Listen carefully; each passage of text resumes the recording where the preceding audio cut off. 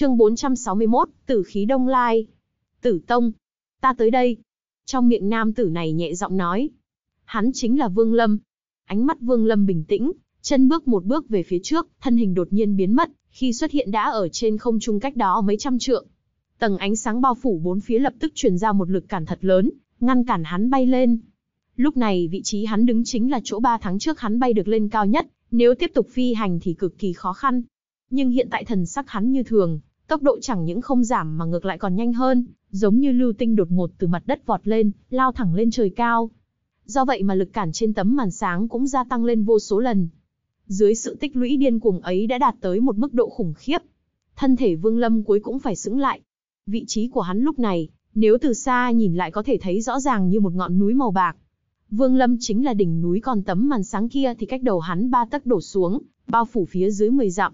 Thần sắc Vương Lâm bình tĩnh, giơ ngón cái tay phải lên. Lập tức một tia sáng chói lòa từ trong ngón cái của hắn nháy mắt ngưng tụ lại. Đột nhiên toàn bộ ánh sáng trong thiên địa dường như biến mất, cả đất trời chỉ còn mỗi ngón cái này tồn tại. Ánh mắt Vương Lâm lóe lên, ngón cái hướng về phía trước điểm một cái, trực tiếp đặt lên phía trên đỉnh đầu ba tấc. Trong nháy mắt khi ngón cái hắn ấn tới, cả tấm màn sáng bỗng nhiên lập lòe, bên trong đó truyền ra những âm thanh răng rắc. Những vết nứt đột nhiên xuất hiện khắp nơi. Từ xa nhìn lại, màn sáng dường như sắp sửa tan nát. Nhưng trong nháy mắt những vết nứt này lại tan biến. Tấm màn sáng khôi phục lại như ban đầu. Ánh mắt Vương Lâm âm trầm, tịch diệt chỉ lại thi triển một lần nữa, điểm lên màn sáng. Chỉ nghe thấy những tiếng ầm ầm vang động đất trời, tựa hồ cả mặt đất cũng run rẩy. Tấm màn sáng chấn động càng kịch liệt, vết nứt điên cuồng hiện lên khắp nơi. Nhưng trong nháy mắt khi vết nứt xuất hiện, một đạo ánh sáng phủ qua, tất cả các vết nứt lại biến mất toàn bộ. Sắc mặt Vương Lâm trầm xuống, hừ nhẹ một tiếng, ngón cho tay phải giơ lên, đôi mắt lộ vẻ tà dị. Hóa ma chỉ. Vương Lâm thốt lên. Từng trận u quang đột nhiên xuất hiện từ bốn phương tám hướng, điên cuồng tụ lại ngón tay của Vương Lâm. Cùng lúc đó, tiên lực trong cơ thể hắn cũng chuyển động, hướng về ngón trò này. Tư Đồ Nam đã từng nói, tu vi càng cao thì thi triển hóa ma chỉ uy lực càng lớn. Lúc này ta đã đạt anh biến trung kỳ, thi triển thần thông này uy lực phải tăng lên mấy lần, nhất định có thể phá được trận pháp này. Cùng với tiên lực trong cơ thể Vương Lâm dũng mãnh tràn tới, sắc mặt hắn lập tức lúc sáng lúc tối, một cỗ uy thế tà dị đột nhiên tỏa ra từ trên người hắn. Bên ngoài ngón tay phải của hắn chậm rãi xuất hiện một đốm lửa màu tím. Một cỗ ma khí ngập trời đột nhiên từ đầu ngón tay của Vương Lâm tràn ra. Ma khí này lập tức bao phủ toàn bộ phạm vi 10 dặm. Giống như là ma vương xuất thế, lúc này toàn thân Vương Lâm lộ ra một cỗ ma ý, tiên lực toàn thân hắn lúc này đều đã nghịch hóa về đốm ma hỏa trên đầu ngón tay hắn. Quá trình này đối với hắn không có gì khó chịu, ngược lại còn có một loại cảm giác cực kỳ sảng khoái. Loại cảm giác này khiến người ta cực kỳ mê luyến. Rất nhanh sau đó, ngọn lửa màu tím trên đầu ngón tay hắn càng lúc càng sáng ngời, khí tức tỏa ra so với thần thông Vương Lâm thi triển 3 tháng trước cường đại hơn gấp mấy lần. Ngón trỏ tay phải Vương Lâm hướng về phía trước điểm một cái, lập tức xuyên qua vị trí ba tấc trên đỉnh đầu, phá tan màn sáng. Tấm màn sáng trong nháy mắt khi ngón trỏ của hắn xuyên qua, ngọn lửa màu tím sáng ngời chói mắt, lấy ngón tay của Vương Lâm làm trung tâm, điên cuồng tràn về bốn phía. Lúc này tấm màn sáng giống như là một mảnh giấy, bị nó đốt cháy bừng bừng. Dường như chỉ trong nháy mắt, ngọn lửa màu tím này liền từ bên trên ảo ạt lan xuống thiêu đốt. Chỉ qua ba nhịp thở, ngọn lửa này bừng cháy từ trên cao tràn xuống đã khiến, trong phạm vi 10 dặm chỉ còn một cái vệt lửa màu tím hình tròn, chính là dấu vết của tấm màn sáng đã từng vây khốn Vương Lâm.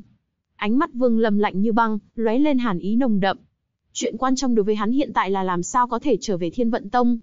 Hắn đối với nơi này không quen thuộc, không biết Thiên Vận Tông ở phương hướng nào. Đôi mắt hắn lóe sáng, tay phải vỗ túi chữ vật một cái, lập tức một cây hồn phiên hiện ra trong tay, vất lên. Một cái nguyên thần liền bay ra. Tào nhất đấu. Vương Lâm bình thản nói. Nguyên thần nọ chấn động, mở bừng hai mắt, đầu tiên ngơ ngác nhìn Vương Lâm, sau đó nhìn bốn phía một chút, lúc này hai mắt hắn đột nhiên sáng ngời.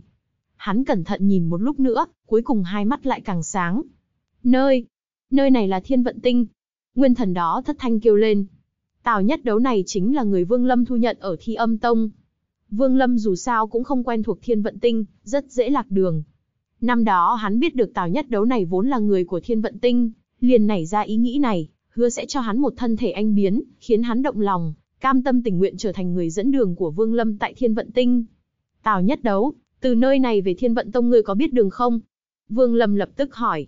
Hai mắt Tào Nhất Đấu lộ vẻ trầm ngâm, tay phải chỉ về hướng tây nói, đi về hướng tây khoảng 30 vạn dặm chính là sơn môn của Thiên Vận Tông.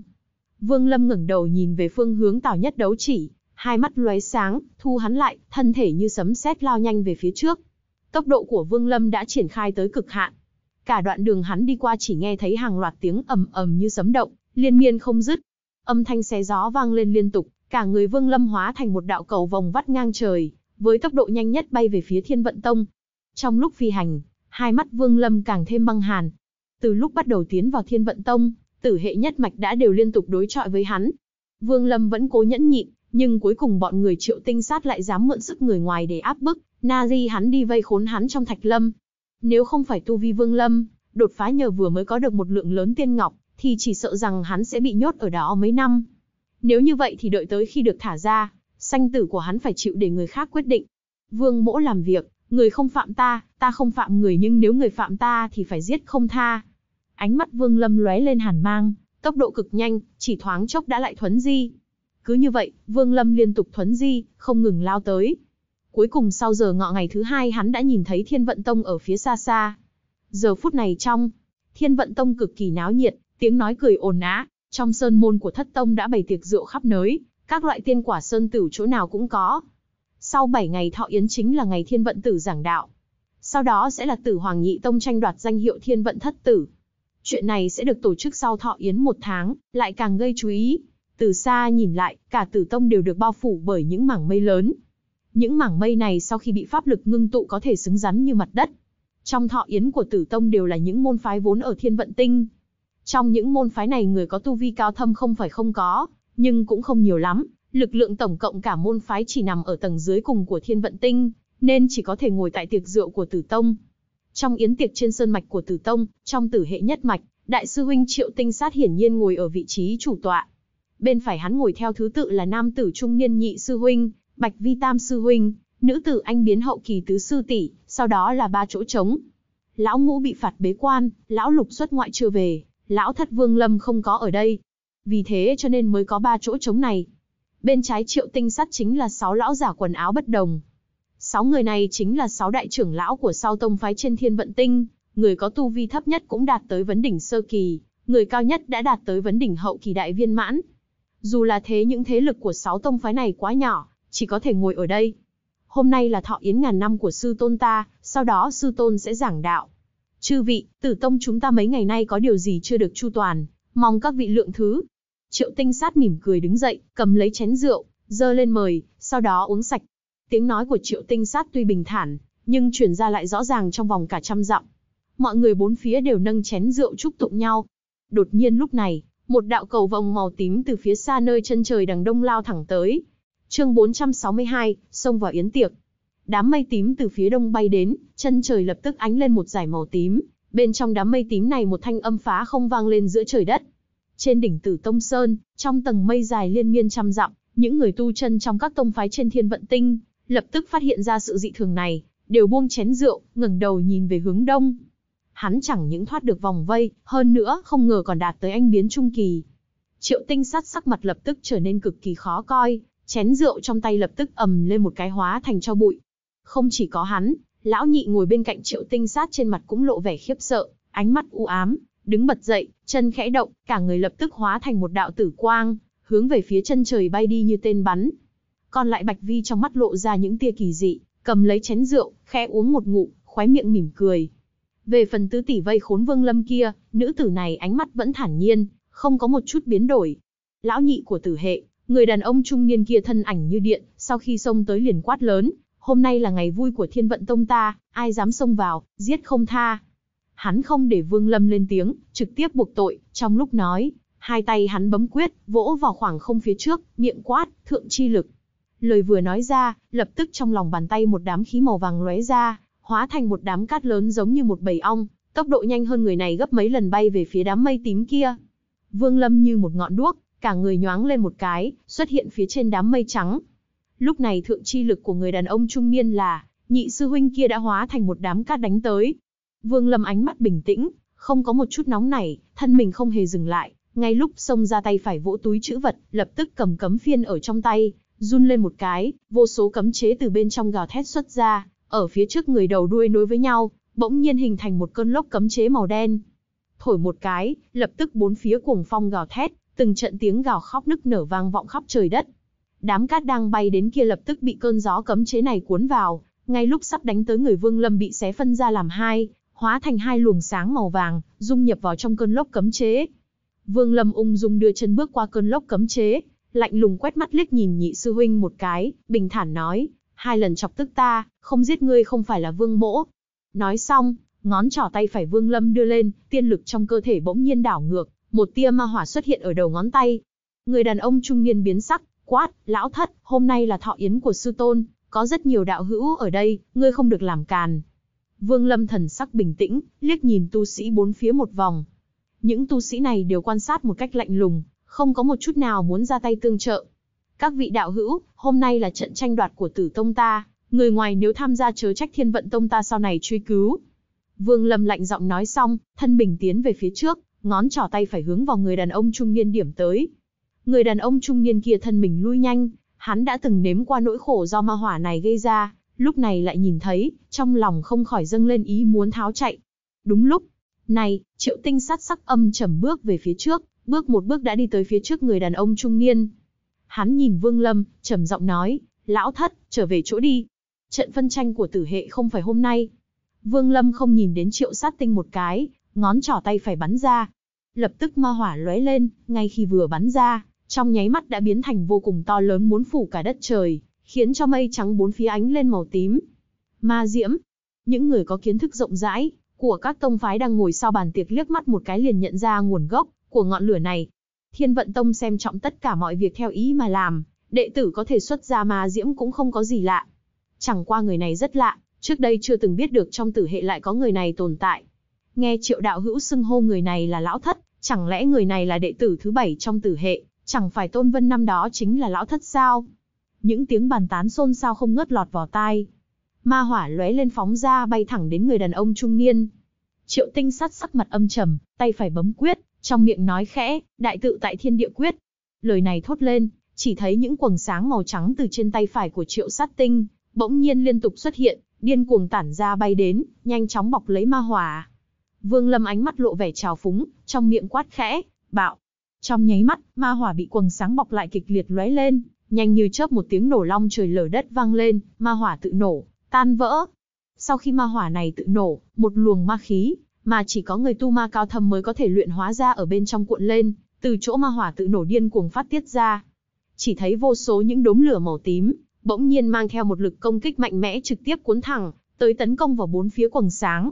Quầng sáng kia không thể chống cự liền lập tức sụp đổ, hóa thành những ngọn lửa màu tím, nhanh chóng bị thiêu đốt thành tro. Trong thời gian ba nhịp thở, toàn bộ quầng sáng đã bị ngọn lửa thiêu đốt thành tro, biến mất không thấy. Sắc mặt triệu tinh sát cực kỳ khó coi, thân mình hắn lui nhanh.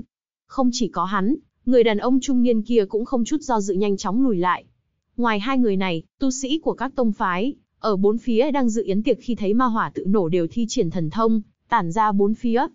Gần như trong nháy mắt, trong phạm vi nghìn trượng không còn bóng dáng một tu sĩ nào. Ma hỏa tự bạo điên cuồng thổi quét ra nghìn trượng, lúc này mới dần dần tiêu tan. Trong vòng nghìn trượng, giờ phút này tất cả bàn tiệc đều đã hóa thành cho, ngay cả những đám mây trắng cũng bị thiêu đốt, hình thành nên một cái hố rộng nghìn trượng. Vương Lâm thân ảnh như điện, không nói lời nào, khẽ động một cái đã cầm tiên kiếm ở trong tay, trong lúc xông tới vung ra một kiếm. Chỉ thấy một đạo kiếm quang lớn cỡ 10 trượng bỗng nhiên xuất hiện, gào thét hướng về người đàn ông trung niên chém xuống. Cùng lúc đó, loan đao theo sát phía sau tiên kiếm, gào thét bay ra. Người đàn ông trung niên kia mắt thấy đã biết là không kịp, gầm nhẹ một tiếng, hai tay bấm quyết, quát, cấm thuật, tiên ma thể. Lời vừa nói ra, toàn thân hắn lập tức chuyển ra những tiếng lách cách, khi kiếm quang gần chém tới nơi, cả người hắn lập tức hóa thành một đám sương mù màu đen. Tiên kiếm quét ngang qua, chia đám sương mù ra làm hai, nhưng lập tức hai đám sương mù lại hợp lại với nhau, hóa thành một, sau đó nhanh chóng hướng về một bên bay nhanh đi, hiển nhiên là muốn chạy trốn. Vương Lâm cười lạnh, tiên kiếm trong tay rung lên, trong tiếng gào thét của hứa lập quốc, hóa thành một đạo kiếm quang lao thẳng tới, đuổi theo không bỏ. Loan đao cũng tiến nhanh tới, trong chớp mắt liền đuổi theo màn xương đen, điên cuồng chém xuống. Lập tức màn xương đen bị chia năm xẻ bảy, từ trong màn xương đen truyền ra tiếng kêu thảm thiết của người đàn ông trung niên. Triệu tinh sát đứng nhìn chằm chằm, vẻ mặt cười lạnh, cũng không ngăn cản gì. Vương Lâm cũng không nhìn đến triệu sát tinh, thân mình nhoáng lên, biến mất tại chỗ, lúc hiện ra đã chặn đường tháo chạy của màn xương đen kia. Ngươi chạy không thoát đâu. Vương Lâm lạnh lùng nói. Những màn xương đen giải rác đang một lần nữa hợp lại với nhau, từ bên trong truyền ra tiếng người đàn ông trung niên rít gào. Hôm nay là đại thọ của sư tôn, nếu ngươi giết ta chắc chắn sẽ bị sư tôn trục xuất khỏi môn phái. Vương Lâm hai mắt phát lạnh, tay phải vỗ túi chữ vật, lập tức lấy côn cực tiên cầm ở trong tay. Chỉ nghe thấy ầm một tiếng, màn xương đen đang dung hợp lập tức tan vỡ. Cùng lúc đó, nguyên thần người này từ trong màn xương đen bị đánh văng ra. Vương Lâm ánh mắt chớp động, ngay khi nguyên thần người này xuất hiện, thân mình khẽ động, trực tiếp lao tới, tay phải túm lấy nguyên thần của người này. Nguyên thần kia hét lên một tiếng, chợt lóe lên, bất ngờ thuấn di thoát ra. Vương Lâm ánh mắt lạnh lùng, côn cực tiên đột nhiên kéo dài ra. Cây roi này đã ở trong tay hắn lâu ngày, dĩ nhiên đã được hắn nghiên cứu vô cùng kỹ, cây roi này không có phân chia dài ngắn, nó có thể kéo dài đến hết tầm mắt. Chỉ nghe thấy ầm một tiếng, nguyên thần hiện lên ở cách đó nghìn trượng lập tức run lên, gần như sắp tan vỡ, ở trên lưng xuất hiện một vết thương rất sâu, một lượng lớn tiên lực tinh hoa lập tức phát tiết ra. Chương 463, Cổ yêu. Vương Lâm thân mình nhoáng lên, biến mất tại chỗ, lúc hiện ra đã ở phía trước nguyên thần kia, đưa tay trực tiếp bắt lấy nguyên thần này. Nguyên thần ánh mắt lộ ra vẻ hoảng sợ, đang muốn nói chuyện liền bị Vương Lâm bắt lấy, sau đó ném vào trong tôn hồn phiên. Vương Lâm xoay người nhìn Triệu Tinh Sát đang đứng quan sát cách đó không xa, trầm giọng nói, tiếp theo sẽ là ngươi. Triệu Tinh Sát nhìn chằm chằm Vương Lâm, bỗng nhiên mỉm cười, nói, lão thất, ngươi giết lão nhị là đã gây ra đại họa, không cần ta ra tay. Chấp pháp trưởng lão đâu, bắt người này giao cho sư tôn ta xử lý. Vương Lâm thần sắc như thường, lạnh lùng nói, hôm nay ai cản trở Vương Mỗ sẽ trở thành kẻ thù của tại hạ. Nói xong, thân mình hắn tiến về phía trước, vượt qua trăm trượng, trực tiếp hướng tới Triệu Sát Tinh. Trong đám người của Tử Tông có một số chấp pháp trưởng lão, người nào trên mặt cũng lộ ra vẻ do dự nhìn nhau, không ai dám tiến lên nửa bước. Triệu Tinh Sát sắc mặt khó coi, lui ra sau vài bước, quay mạnh đầu lại nhìn về phía Bạch Vi và Lão Tứ, quát, Lão Tứ. Nữ tử này trước sau vẫn bình tĩnh, ngẩng đầu lạnh lùng liếc mắt nhìn Triệu Sát Tinh một cái, bình thản nói, ân tình của ngươi ba tháng trước ta đã đền đáp rồi, cũng đồng ý không tranh đoạt danh hiệu thiên vận thất tử với ngươi, bây giờ hãy cho ta một lý do để ra tay đi. Triệu tinh sát cắn răng một cái, nói, được, được lắm. Hắn quay đầu lại nhìn chằm chằm Vương Lâm, ánh mắt lộ ra một vẻ âm trầm, nói, lão thất, thuật này ta định đến khi tranh đoạt danh hiệu thiên vận thất tử mới lại sử dụng. Nhưng bây giờ nếu ngươi ép ta, ta sẽ cho ngươi nếm thử trước uy lực của thuật này. Triệu tinh sát nói xong, hai tay bấm quyết, trong miệng niệm ra một loạt chú ngữ phức tạp khó hiểu. Vương Lâm thần sắc như thường, há mồm phun một cái, tôn hồn phiên lập tức xuất hiện trong tay. Hắn rung lên một cái, lập tức những chủ hồn còn lại không nhiều toàn bộ bay ra. Vương Lâm chỉ tay một cái, những chủ hồn này lập tức gào thét hướng về triệu tinh sát đánh tới. Cùng lúc đó, Vương Lâm vung tay phải lên, khu thú quyển ầm một cái hóa thành xạ thần xa rừng ở một bên. Triệu tinh sát ngẩng mạnh đầu, lúc này trên đỉnh đầu bỗng nhiên xuất hiện một hư ảnh yêu dị rất lớn. Vật ấy cao chừng trăm trượng, trên đầu có hai sừng, Tuy mở nhạt nhưng lại phát tiết ra một luồng khí yêu tà cực kỳ nồng đậm. Yêu vật này cực kỳ to lớn, trên thân mình ẩn hiện sắc lam yêu dị, nhất là bàn tay vô cùng lớn, mỗi móng tay trông như một thanh phi kiếm, tất cả đều thể hiện sự bất phàm của vật này. Lúc này, hư ảnh yêu vật này hai mắt nhắm nghiền, chỉ thấy cái đầu rất lớn chuyển động một chút, cứ như có thể tỉnh lại bất cứ lúc nào. Hư ảnh này càng xuống phía dưới lại càng mơ hồ, nhất là bên dưới còn có triệu tinh sát. Người này sắc mặt tái nhợt, hiển nhiên thi triển thần thông này với hắn mà nói cũng phải chịu không ít gánh nặng. Giờ phút này, giữa lông mày của hắn có một ký hiệu cổ quái không ngừng lóe ra. Ký hiệu này mỗi lần lóe, ra hư ảnh yêu vật phía sau lại ngưng tụ rõ ràng hơn một chút, đồng thời, thân thể triệu tinh sát cũng suy yếu đi vài phần. Vật ấy vừa hiện ra, lập tức tu sĩ các phái ở bốn phía đều khiếp sợ, tất cả vội vàng đứng dậy, tản ra bốn phía. Ngay cả sáu vấn đỉnh tu sĩ kia trong mắt cũng lộ vẻ sợ hãi. Cổ yêu, lão già vấn đỉnh hậu kỳ, trưởng lão của Thủy Vân Môn Khương Thiên Tôn trong suốt 7 ngày. Nay ngồi im không nói lời nào, ngay cả lúc trước Vương Lâm sử dụng ma hỏa cũng chỉ liếc mắt nhìn một cái, lúc này nhẹ giọng nói. Trong thanh âm này còn có một vẻ nghi hoặc, hiển nhiên cũng không phải là hoàn toàn khẳng định.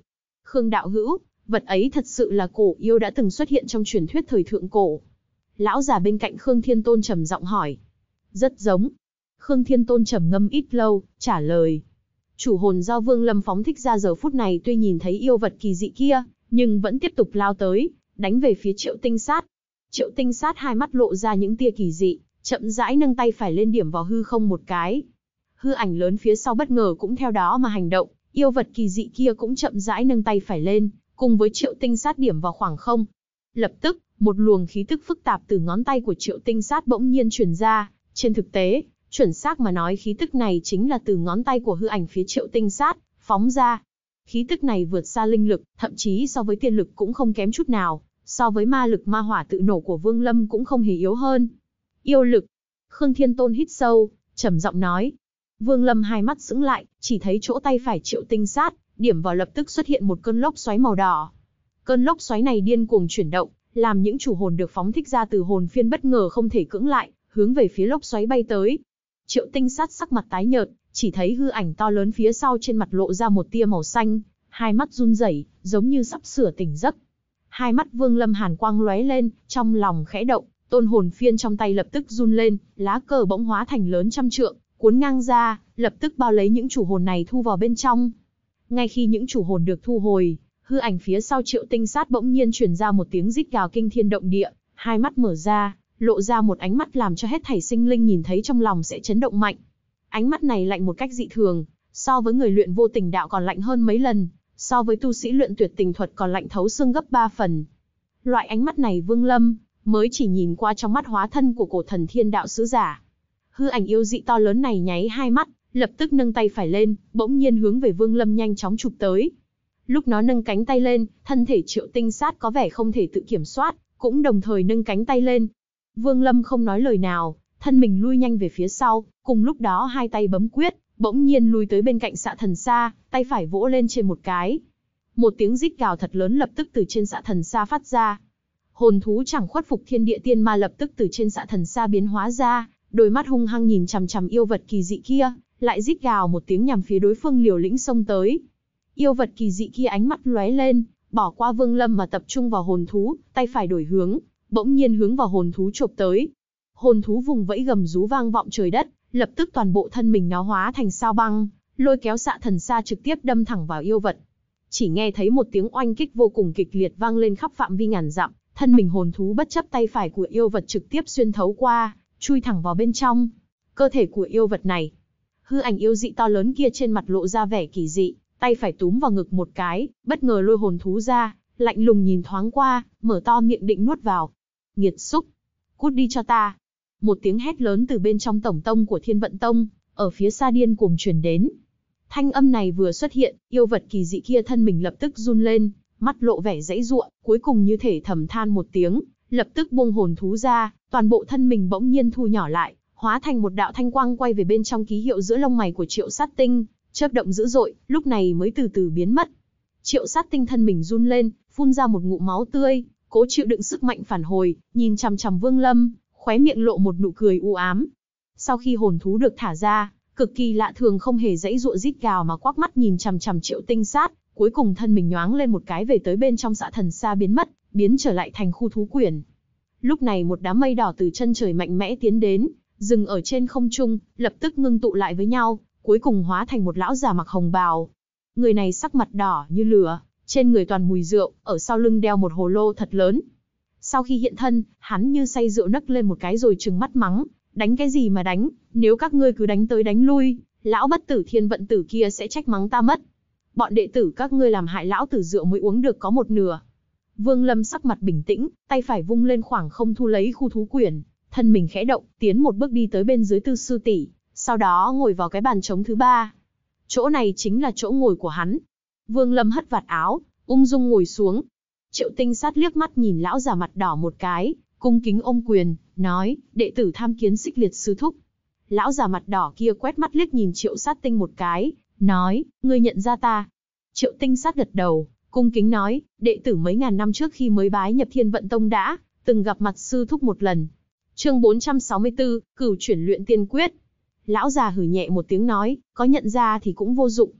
Yêu linh trong cơ thể ngươi vừa mới hình thành đã gượng ép sử dụng như vậy, chờ sư phụ ngươi trừng phạt đi. Nói xong, hắn giơ bàn tay to túm một cái, bắt lấy triệu sát tinh, sau đó ánh mắt lóe lên nhìn Vương Lâm, ánh mắt lộ ra một vẻ hứng thú, cười nói, tiểu tử kia, sư phụ ngươi đối với ngươi kỳ vọng rất cao. Đại sư huynh của ngươi trong buổi tranh đoạt danh hiệu thiên vận thất tử sẽ không xuất hiện, ngươi cứ yên tâm. Nói xong, lão già hướng về phía tu sĩ của các tông phái ôm quyền cười ha hả nói, các vị, chắc trong các vị cũng có người nhận ra lão đạo. Hôm nay bọn vãn bối tử tông đánh nhau đã làm mất nhã hứng của các vị, xin đừng trách. Khương Thiên Tôn nhìn xích liệt, vội vàng cung kính nói, tiền bối đừng suy nghĩ nhiều, làm sao chúng tôi lại mất nhã hứng được, vừa rồi nhìn đấu pháp của mấy người đó có cảm giác rất vui mừng, tử hệ của Thiên Vận Tông đã có người kế nghiệp. Lời hắn vừa nói ra, lập tức liền có người theo sau. Cuối cùng gần như tất cả tu sĩ nơi đây đều tỏ ra vui vẻ như vậy. Xích liệt cười ha hả, lắc đầu nói, đừng quá khen ngợi bọn nghịch tử này như vậy. Hôm nay sau khi kết thúc, ngày mai sẽ là ngày sư huynh thiên vận tử của ta giảng đạo. Các vị, tại hạ còn có chuyện quan trọng, xin phép đi trước. Nói xong, xích liệt thân mình khẽ động, túm lấy triệu tinh sát, cả người hóa thành một đám mây đỏ, gào thét hướng về đằng xa bay đi như sấm sét, biến mất không thấy. Vương Lâm từ sau khi lão già mặt đỏ xuất hiện thủy chung không nói một lời, lúc này cầm lấy chén rượu, rót đầy uống một ngụm, ánh mắt lộ ra vẻ suy tư. Thần thông triệu sát tinh sử dụng vừa rồi rốt cuộc là loại pháp thuật gì, không giống như ý cảnh tấn công, so với thần thông của cổ thần có chút tương tự. Nghe lời nói của lão già mặt đỏ kia thì vật ấy chính là yêu linh, ở trong cơ thể triệu sát tinh cũng là vừa mới luyện hóa mà thành, không thể tùy tiện sử dụng. Trong lúc trầm ngâm, tu sĩ các tông phái từ mọi nơi có không ít người tiến đến chúc rượu Vương Lâm. Trong trận đại chiến vừa rồi, Vương Lâm nhẹ nhàng tiêu diệt lão nhị của tử hệ, bức bách lão đại phải sử dụng yêu linh kỳ dị kia. Nhưng bất cứ người nào ở nơi đây đều có thể thấy được thần thông yêu dị kia chính là hại người hại mình. Nhìn bộ dạng của triệu sát tinh có thể đoán ra người thi triển thần thông này, chắc chắn phải chịu một lực phản hồi rất lớn. Hơn nữa lão thất của tử hệ này vẫn chưa ra tay, chẳng qua là mới chỉ dùng pháp bảo chống đỡ mà thôi. Một khi ra tay, thắng bại tuy không thể biết được nhưng mọi người ở đây, cũng liếc mắt một cái liền có thể nhìn ra ý trong lời nói của xích liệt kia. Thiên vận tử đối với người này đúng là cực kỳ coi trọng. Nếu không vì sao hai bên đánh nhau mà chỉ có triệu sát tinh bị bắt đi, mà không truy cứu việc của lão nhị, ngược lại còn lưu lại một câu nói có ý như an ủi. Những người tu chân đều là những người từng trải lão luyện, nhất là những người có thể đi vào đây dự yến tiệc này lại càng có kiến thức. Trong mắt bọn họ, Vương Lâm nhất định sẽ trở thành thiên vận thất tử, nếu có chút giao tình sau này nhất định sẽ có lợi. Vì vậy, người đến kính rượu liên tiếp không ngừng. Vương Lâm thu hồi suy nghĩ, mỉm cười một chút.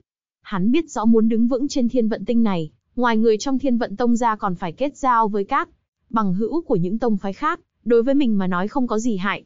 Vì thế, trong yến hội tử tông, ngày cuối cùng của yến hội 7 ngày xuất hiện một sự kiện cao trào. Vương Lâm nghiễm nhiên thay thế triệu tinh sát trở thành chủ yến hội này, cùng với phần đông tu sĩ các tông phái nâng chén nói chuyện với nhau. Về phần Bạch Vi và Tứ Sư Tỷ không có nhiều người đến chúc lắm, cũng có phần hơi trống vắng. Mãi đến tận ban đêm, yến tiệc gần tàn, Vương Lâm cầm lấy chén rượu cung kính mới Khương Thiên Tôn một chén. Sau khi đám người Khương Thiên Tôn rời khỏi, ánh mắt hắn lóe lên, nhìn Tứ Sư Tỷ ở cách đó không xa. Tứ Sư Tỷ không biết thuật đại na di kia khi nào mới truyền cho sư đệ. Vương Lâm ánh mắt lóe lên, chậm rãi nói. Tứ Sư Tỷ nhìn Vương Lâm, ít lâu sau, mỉm cười, vỗ túi chữ vật lấy ra một ngọc giản, vung tay lên ném cho Vương Lâm. Ta vốn định sau khi thọ yến của sư tôn kết thúc sẽ đi giải thoát cho ngươi, không ngờ lão thất có thể tự mình thoát ra, việc này sư tỷ cũng là bất đắc dĩ, mong rằng sư đệ không trách. Trong ngọc giản này ngoài cấm pháp đại na di còn có một cấm pháp năm đó, sư tôn truyền thụ cho ta. Cấm pháp này là do sư tôn phỏng theo một hạ phẩm tiên thuật sáng tạo ra, uy lực rất lớn. Ta cho sư đệ để xin lỗi việc tháng trước. Vương Lâm nhận lấy ngọc giản, liếc mắt nhìn tứ sư tỷ một cái, trầm ngâm một chút, gật gật đầu. Không đến vạn bất đắc dĩ hắn cũng không muốn trở mặt hoàn toàn với người này. Dù sao tứ sư tỷ này bản lãnh cũng đã đạt tới anh biến hậu kỳ, hơn nữa người này thủy chung vẫn chưa lộ ra ác ý, cho dù là tháng trước cũng chỉ là dùng cấm pháp phong ấn, vẫn chưa thực sự ra tay. Về phần Bạch Vi, hắn ở một bên mỉm cười nói, lão thất, lần này danh hiệu thiên vận tử xem ra đã là của ngươi rồi, sư huynh tại đây chúc mừng ngươi trước. Nói xong hắn cầm chén rượu, hướng về Vương Lâm tỏ ý, nhấp một ngụ. Vương Lâm mỉm cười, cầm chén rượu uống xong, sau đó đứng lên ôm quyền, nói, hai vị, tại hạ còn có chút việc vặt, hẹn ngày mai gặp lại. Bạch Vi gật đầu, cười nói, lão thất cứ đi trước, không cần để ý tới chúng ta. Tứ sư tỷ cũng gật đầu, mỉm cười. Vương Lâm thân mình nhoáng lên, đạp chân một cái, hóa thành một đạo cầu vồng, biến mất không thấy. Đợi hắn đi rồi, Bạch Vi và Tứ Sư Tỷ nói chuyện với nhau ít lâu rồi cũng lần lượt giải tán. Bạch Vi trên đường trở lại tử vi các, ánh mắt lộ ra một vẻ ác độc, nhìn về hướng tổng tông của Thiên Vận Tông ở đằng xa, lẩm bẩm, sư tôn quá mức bất công, không ngờ lại đem yêu linh cấy vào trong thân thể của đại sư huynh. Nếu yêu linh này thức tỉnh, bản lãnh của đại sư huynh chỉ sợ không bao lâu nữa sẽ khôi phục, tới lúc đó, ta vĩnh viễn sẽ không thể báo được thù. Việc này, nên làm thế nào cho phải? Hắn cau mày, đi về tử vi các. Vương Lâm bay đi một mạch, trên đường gặp được một vài tu sĩ của tông phái khác liền ôm quyền chào hỏi lẫn nhau, không quá lâu đã về tới tử lâm các. Ba tháng chưa quay về, tử lâm các vẫn như trước. Vương Lâm nhoáng lên một cái, trực tiếp tiến vào tầng 3, ngồi trong gian mật thất kia, tay phải khẽ lật, lấy ra một ngọc giản. Ngọc giản này chính là của tứ sư tỷ đưa, là vật ghi chép lại hai đạo cấm pháp. Cấm pháp có khả năng dịch chuyển 10 vạn dặm chính là sự lựa chọn hàng đầu. Vương Lâm ngày đó sau khi nhìn đến cấm pháp này vẫn động tâm không ngừng, lúc này thần thức đảo qua, cẩn thận xem xét, lông mày dần dần nhăn lại. Ít. Lâu sau, hắn thu hồi thần thức, mắt lộ ra vẻ trầm ngâm, nghĩ, cấm pháp dịch chuyển này thì ra là thế. Lợi dụng khoảnh khắc trước khi dịch chuyển, lấy cấm pháp này phong ấn bản thân lại để có thể, trong nháy mắt liên tục sử dụng một vài lần pháp thuật dịch chuyển, từ đó sinh ra một sức mạnh kỳ dị, sau khi phong ấn được mở sẽ đồng loạt bùng nổ, khiến cho khoảng cách dịch chuyển tăng lên gấp vô số lần. Nguyên lý của phương pháp này tuy đơn giản như vậy, nhưng trên thực tế vận dụng cũng gặp rất nhiều tai nạn. Một khi nắm bắt thời gian phong ấn không tốt, rất có thể đưa chính mình hoàn toàn đi vào bên trong khe không gian. Ngoài ra, cũng không thể định vị được hoàn toàn chuẩn xác. Chắc hẳn tứ sư tỷ nhờ vào thần thức anh biến hậu kỳ, hơn nữa lại thông thuộc địa hình trên thiên vận tinh, nên mới có thể dịch chuyển chuẩn xác tới chỗ thạch lâm kia. Tuy nhiên tổng thể mà nói, thuật này cũng có một chút thần thông. Vương Lâm trầm ngâm ít lâu, đứng lên bước về phía trước, trong nháy mắt toàn bộ thân mình hắn lập tức trở nên hư ảo.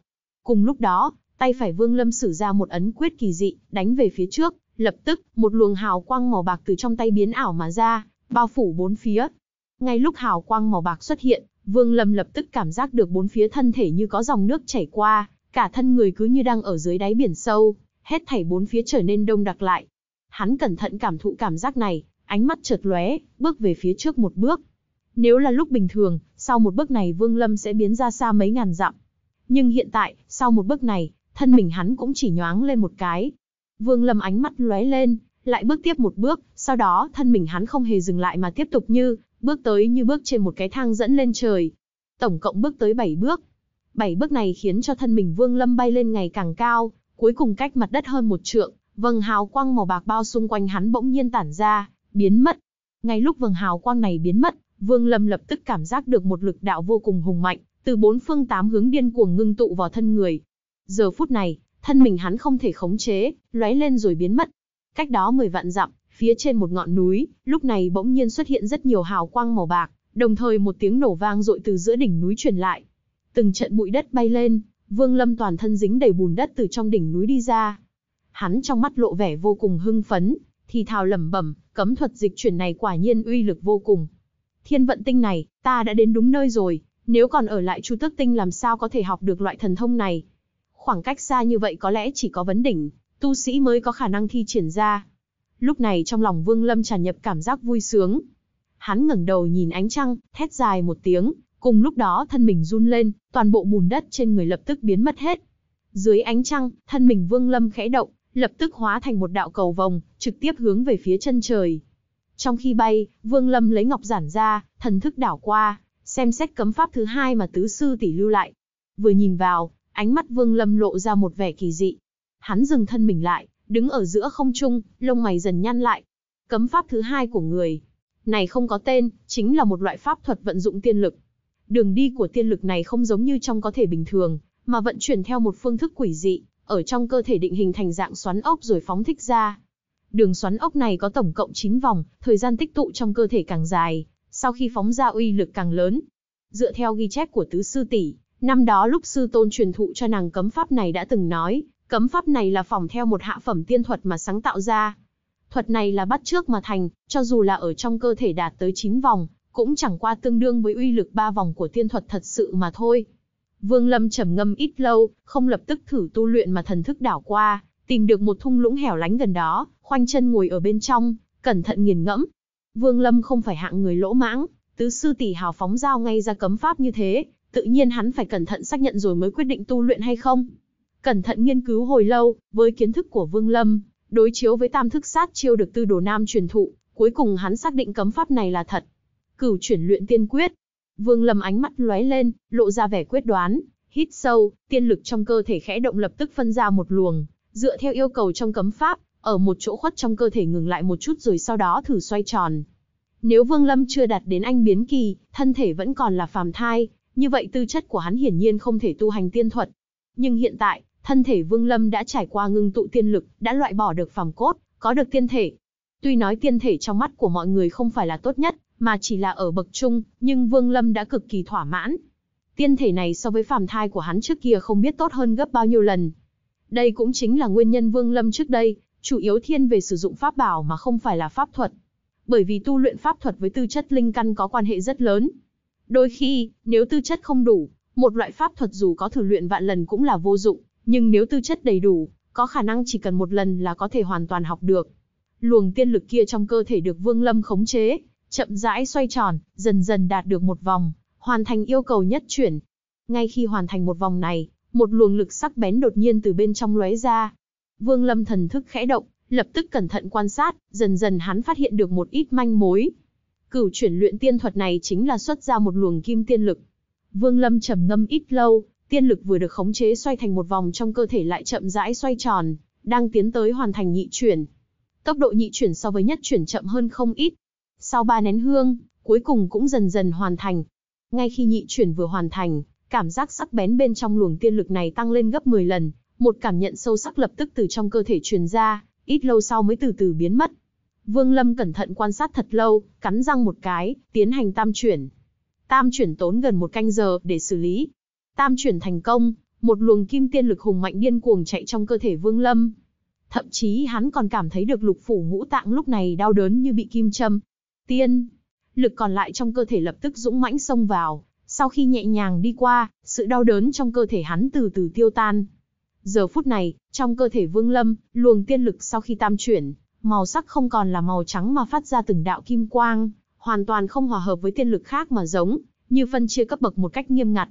Tiên lực nguyên bản màu trắng trong cơ thể Vương Lâm, sau khi gặp tiên lực ánh kim lập tức tản ra hai bên, không ngờ không dám tiếp cận quá gần.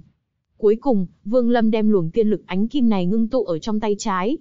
Tiên lực ở trong cơ thể lúc này mới vận chuyển như cũ, nhưng trên tay trái không có một chút tiên lực nào chảy vào, giống như chỗ đó đã được ngăn cách vậy. Tiên lực do cửu chuyển luyện tiên quyết biến hóa ra cũng rất thú vị, nhưng không biết uy lực của nó như thế nào. Vương Lâm ánh mắt chợt lóe, không sử dụng ngay mà tay phải bấm quyết, thi triển thuật đại na di, ngay lúc bốn phía thân thể xuất hiện ngân quang, bước chân về phía trước bảy bước.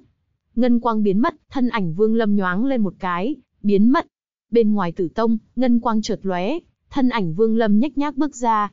Dù sao hắn mới chỉ thử hai lần, vẫn còn chưa thích ứng hoàn toàn với tốc độ dịch chuyển liên tục. Sau khi hiện thân, Vương Lâm nhoáng lên một cái, hướng về Tử Lâm các bay đi.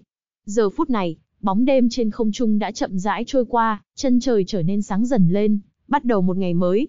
Ngày hôm nay là ngày Thiên Vận Tử giảng đạo, cũng là ngày tu sĩ các tông phái trên Thiên Vận Tinh, các đại thần thông tu sĩ từ các tu chân tinh bên ngoài tới chúc thọ mong đợi nhất.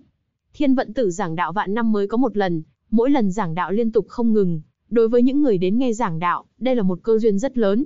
Trên thiên vận tinh này, từ sau khi thiên vận tử đắc đạo, đây là sự kiện đặc biệt trọng đại. Người từ bốn phương tám hướng tới đây mừng thọ, trong đó có không ít những đại thần thông tu sĩ, ngay cả bọn họ trong một ngày thiên vận tử giảng đạo, tĩnh tâm ngồi nghe, cũng thu hoạch được đạo quả.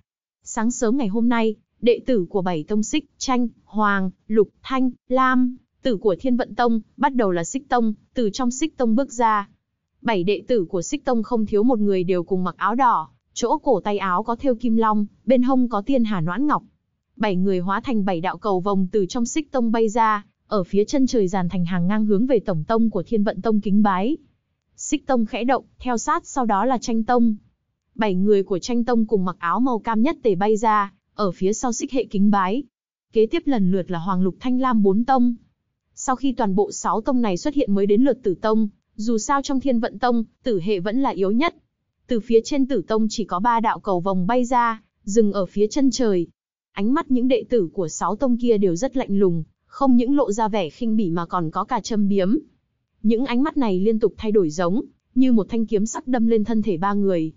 Bạch vi thần sắc như thường, hiển nhiên đã quen với việc này.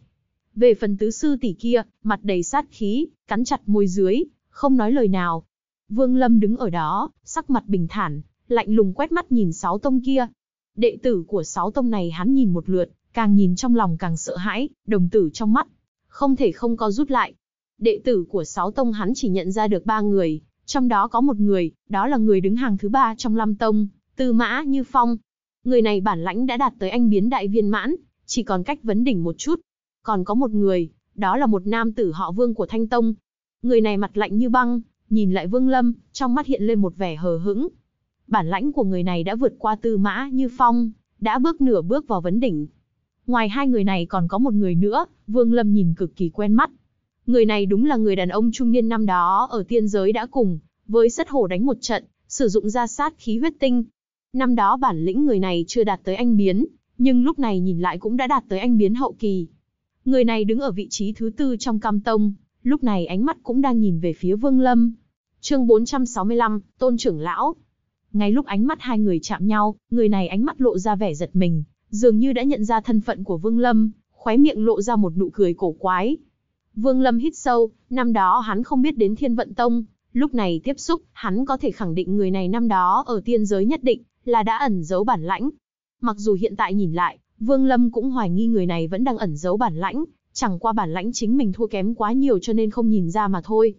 Những đệ tử còn lại của sáu tông, Vương Lâm lần lượt nhìn lại, phải có hơn phân nửa hắn không thể nhìn ra bản lãnh nông sâu ra sao, cho dù là nhìn ra một chút, Vương Lâm cũng đoán đối phương cũng đang ẩn giấu bản lãnh. Thiên vận tông này quả thật là có rất nhiều đệ tử hùng mạnh.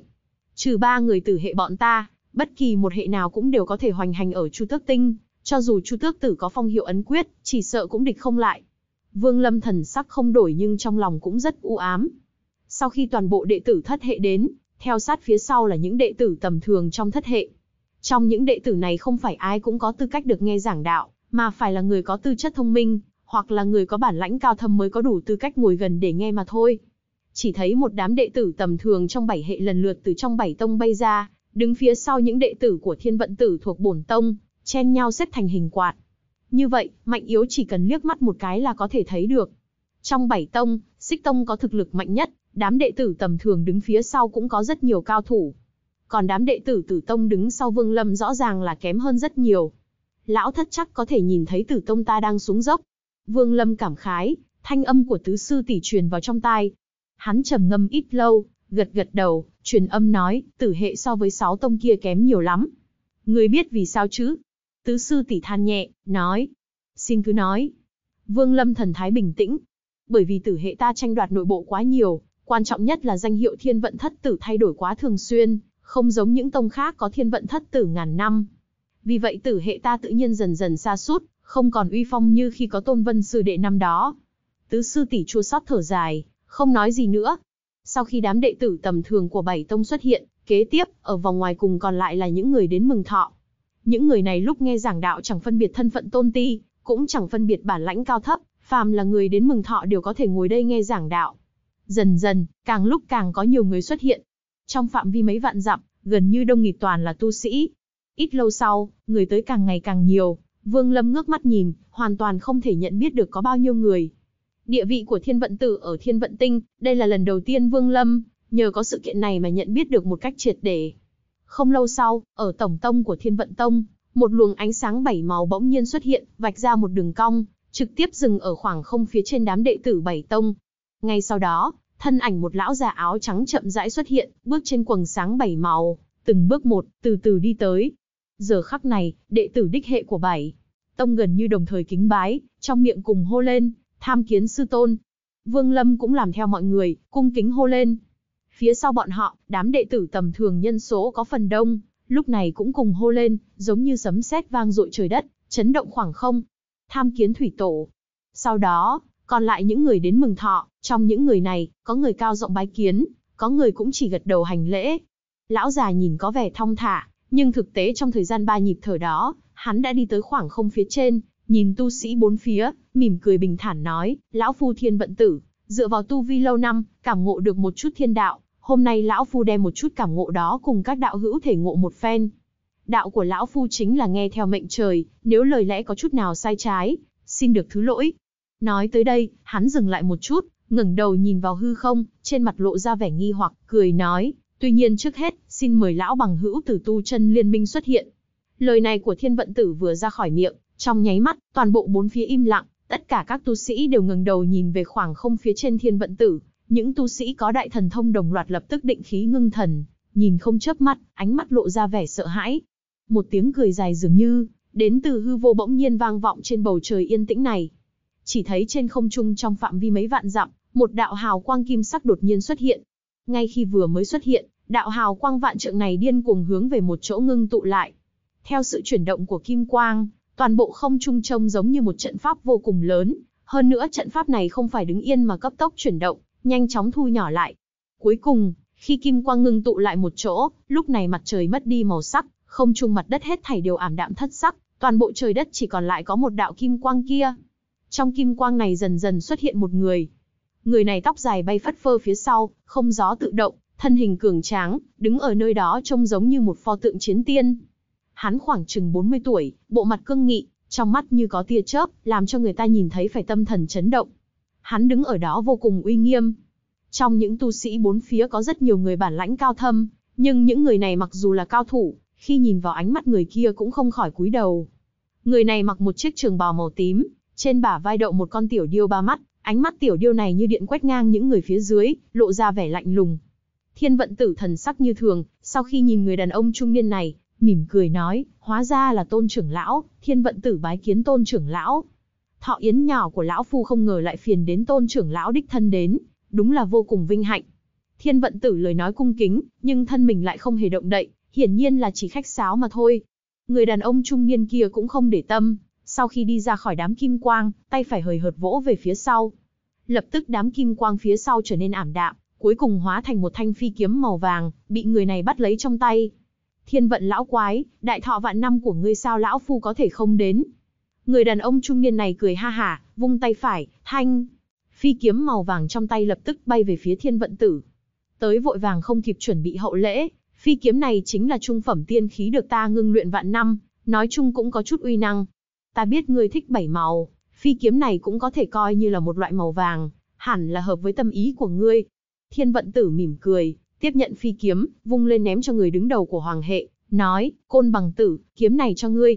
Côn bằng tử của hoàng hệ nghe vậy, thân mình run lên, lập tức tiếp nhận kiếm này, nội tâm xúc động lạ thường, cung kính nói, tạ ơn sư tôn. Người đàn ông kia lắc đầu một chút, cười khổ nói, tính tình ngươi đúng là không hề thay đổi. Thiên vận tử mỉm cười, không hề đáp lại mà ánh mắt đảo qua, nhìn tu sĩ bốn phía, chậm rãi nói, lão phu giảng đạo, chính là giảng thiên vận chi đạo, chư vị bằng hữu, nếu không có cùng quan điểm, có thể đề xuất ngay tại đây, cùng với ta kiểm chứng. Nói xong, thiên vận tử vung tay áo, khoanh chân ngồi xuống. Ngay khi hắn ngồi xuống, một đám mây xuất hiện ở dưới thân người. Người đàn ông trung niên đến từ tu chân liên minh kia cũng khoanh chân ngồi ở một bên, chăm chú nhìn thiên vận tử chuẩn bị nghe giảng đạo.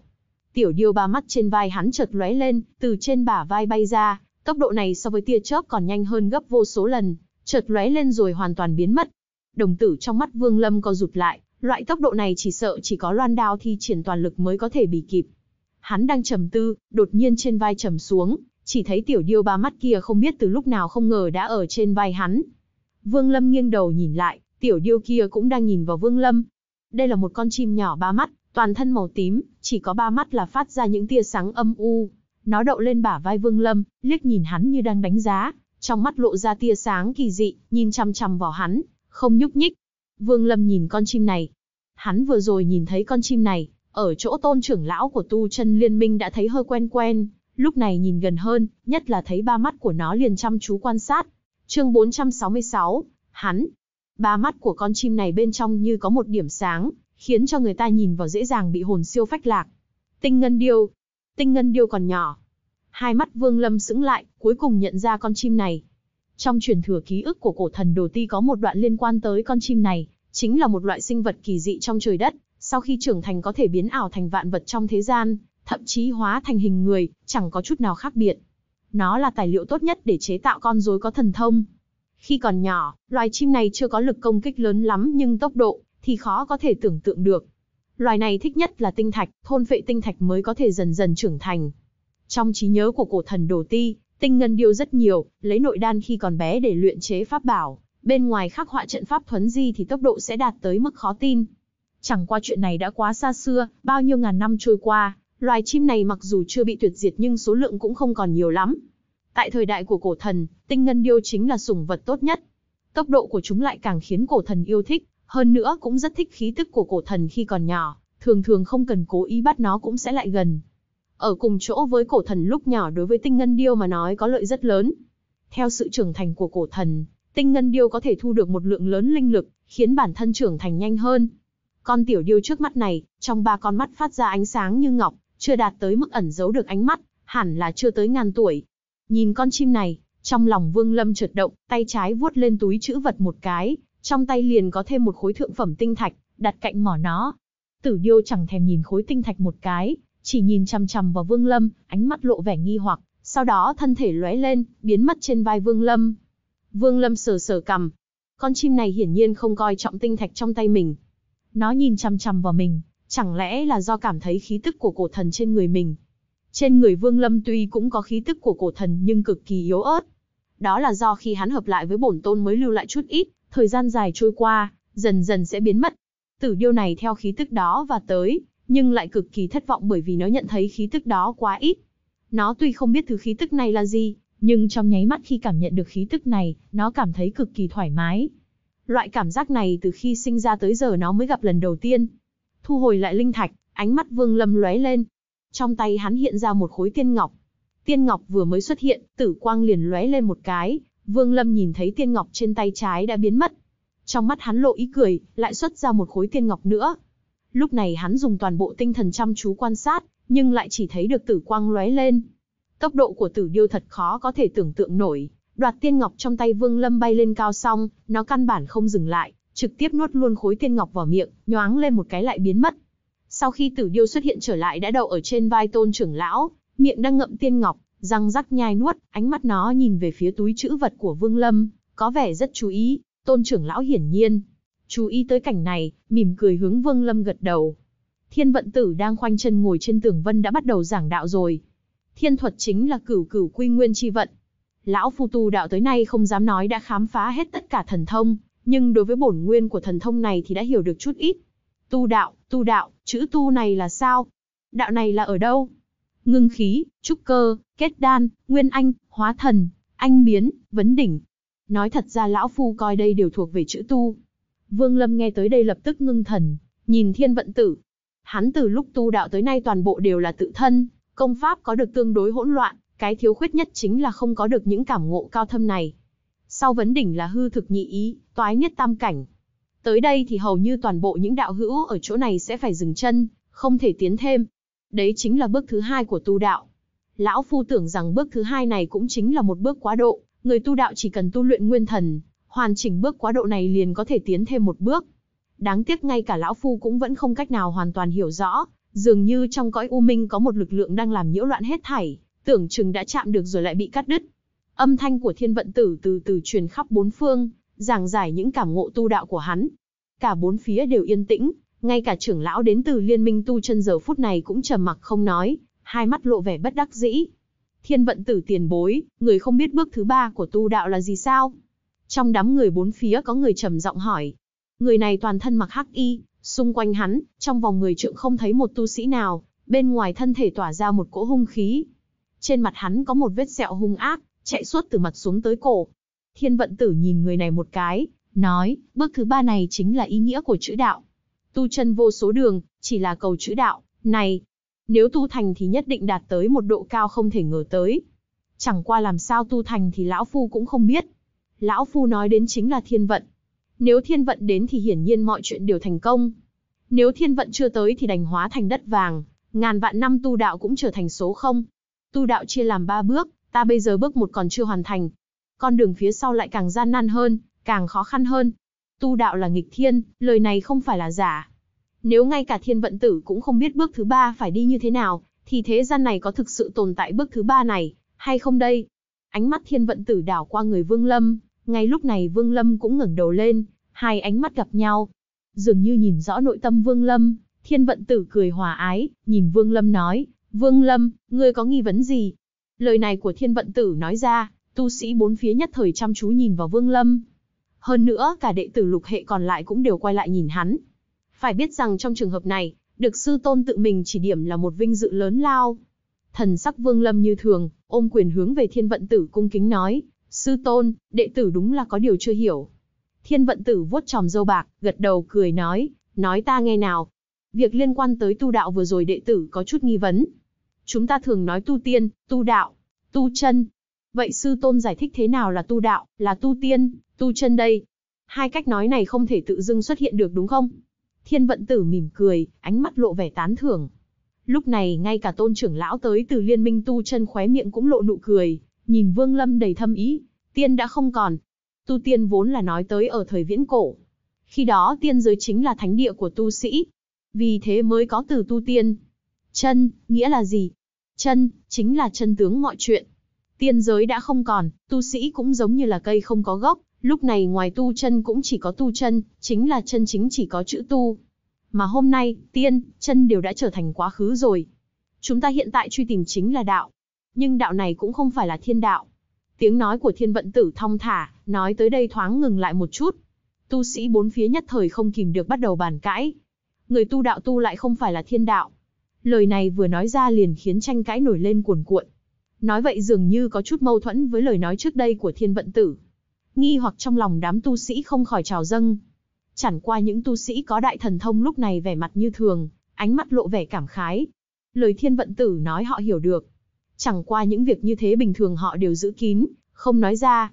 Tôn trưởng lão đến từ liên minh tu chân lúc này nhướng mày, ho khan một tiếng nhìn về thiên vận tử. Thiên vận tử mỉm cười, từ từ nói, nói tới đạo của tu đạo chính là nói tới phương thức tu luyện. Cho nên đạo trong bước thứ ba ta vẫn tìm kiếm đó là một cách giải thích khác với đạo, của tu đạo. Vương Lâm, ngươi có nghi hoặc gì? Ánh mắt Vương Lâm lộ vẻ suy tư, một lúc sau lắc đầu nói, đệ tử hoài nghi, có thực là có bước thứ ba này hay không? Thiên vận tử than nhẹ, trong mắt lộ vẻ bồi hồi hiếm thấy, chậm rãi nói, ba ngàn năm trước, lão phu cũng giống như ngươi, vẫn không tin được trên thế gian này có bước thứ ba ta vừa nói, cho mãi tới khi ta gặp được hắn. Tôn trưởng lão hiển nhiên biết hắn là ai. Vừa nghe tới đây, sắc mặt lão liền trở nên khó coi, trong mắt cũng lộ vẻ đang nhớ lại, chẳng qua trong đó còn mang theo rất nhiều vẻ sợ hãi. Lời này vừa nói ra, nhất thời tu sĩ bốn phía trở nên trầm mặc dị thường. Chỉ có trong mắt những tu sĩ có đại thần thông mới lộ ra ánh sáng kỳ dị. Chương 467, gặp lại Lăng Thiên Hầu. Thiên vận tử tiền bối, người đó là ai? Thiên vận lão hữu, có thể nói rõ ràng được không? Mới đầu chỉ vài người hỏi, càng về sau càng nhiều, toàn bộ đều hướng về thiên vận tử hỏi về hắn. Đủ rồi, thiên vận đừng nhắc tới hắn nữa. Tôn trưởng lão sắc mặt khó coi, trầm giọng nói. Thiên vận tử nhìn tôn trưởng lão, cười nói, kỳ thật ta rất may mắn, trong cuộc đời này lại có thể gặp được hắn. Kẻ này tuyệt đối đã bước vào bước thứ ba. Ánh mắt vương lâm chợt lóe lên, những người xung quanh cũng đều nhìn chằm chằm vào thiên vận tử, cùng chờ đợi câu nói tiếp theo của lão. Tôn trưởng lão trầm mặc một lát, thở dài rồi xua tay nói, thôi, tính tình của thiên vận lão nhi ngươi khi nào cũng quái đản, nói gì thì nói luôn đi. Thiên vận tử cười nói, vô số năm qua, tu chân liên minh chỉ phải nếm đau khổ một lần duy nhất trong tay người này. Việc này cũng không có gì, chẳng qua, hắn là người duy nhất trong số những người ta từng biết trong đời mình đã đạt, tới bước thứ ba. Đáng tiếc, hắn cũng như một đóa phù dung, sớm nở tối tàn, đã không có chút tung tích gì nữa. Lần thiên vận tử giảng đạo này vẫn tiếp tục, Chẳng qua, tuyệt đại bộ phận tu sĩ đều đặt tâm tư vào người mà trong miệng thiên vận tử, gọi là hắn. Nhưng thiên vận tử lại không nói thêm nữa. Lần giảng đạo này đã tiến hành được ba ngày. Ba ngày sau, việc giảng đạo kết thúc. Vương Lâm vẫn im lặng lắng nghe, dần dần có chút lĩnh ngộ. Sau lần giảng đạo nhân đại thọ vạn năm này, lão phu sẽ mang đến cho chư vị một hồi tạo hóa. Bây giờ ta sẽ thi triển trung phẩm tiên thuật một lần. Chư vị đạo hữu, có thể lĩnh ngộ được bao nhiêu thì đó là tùy các vị. Thiên vận tử khẽ mỉm cười, chậm rãi nói. Lời nói của thiên vận tử vừa xong, những người xung quanh lập tức ngưng thần định khí. Gần như tất cả mọi người, dù là một số tu sĩ có đại thần thông, cũng không thua kém thiên vận tử bao nhiêu, nhưng ánh mắt đều lóe lên, cẩn thận quan khán. Phải biết rằng tiên thuật rất ít, trung phẩm tiên thuật lại càng ít hơn.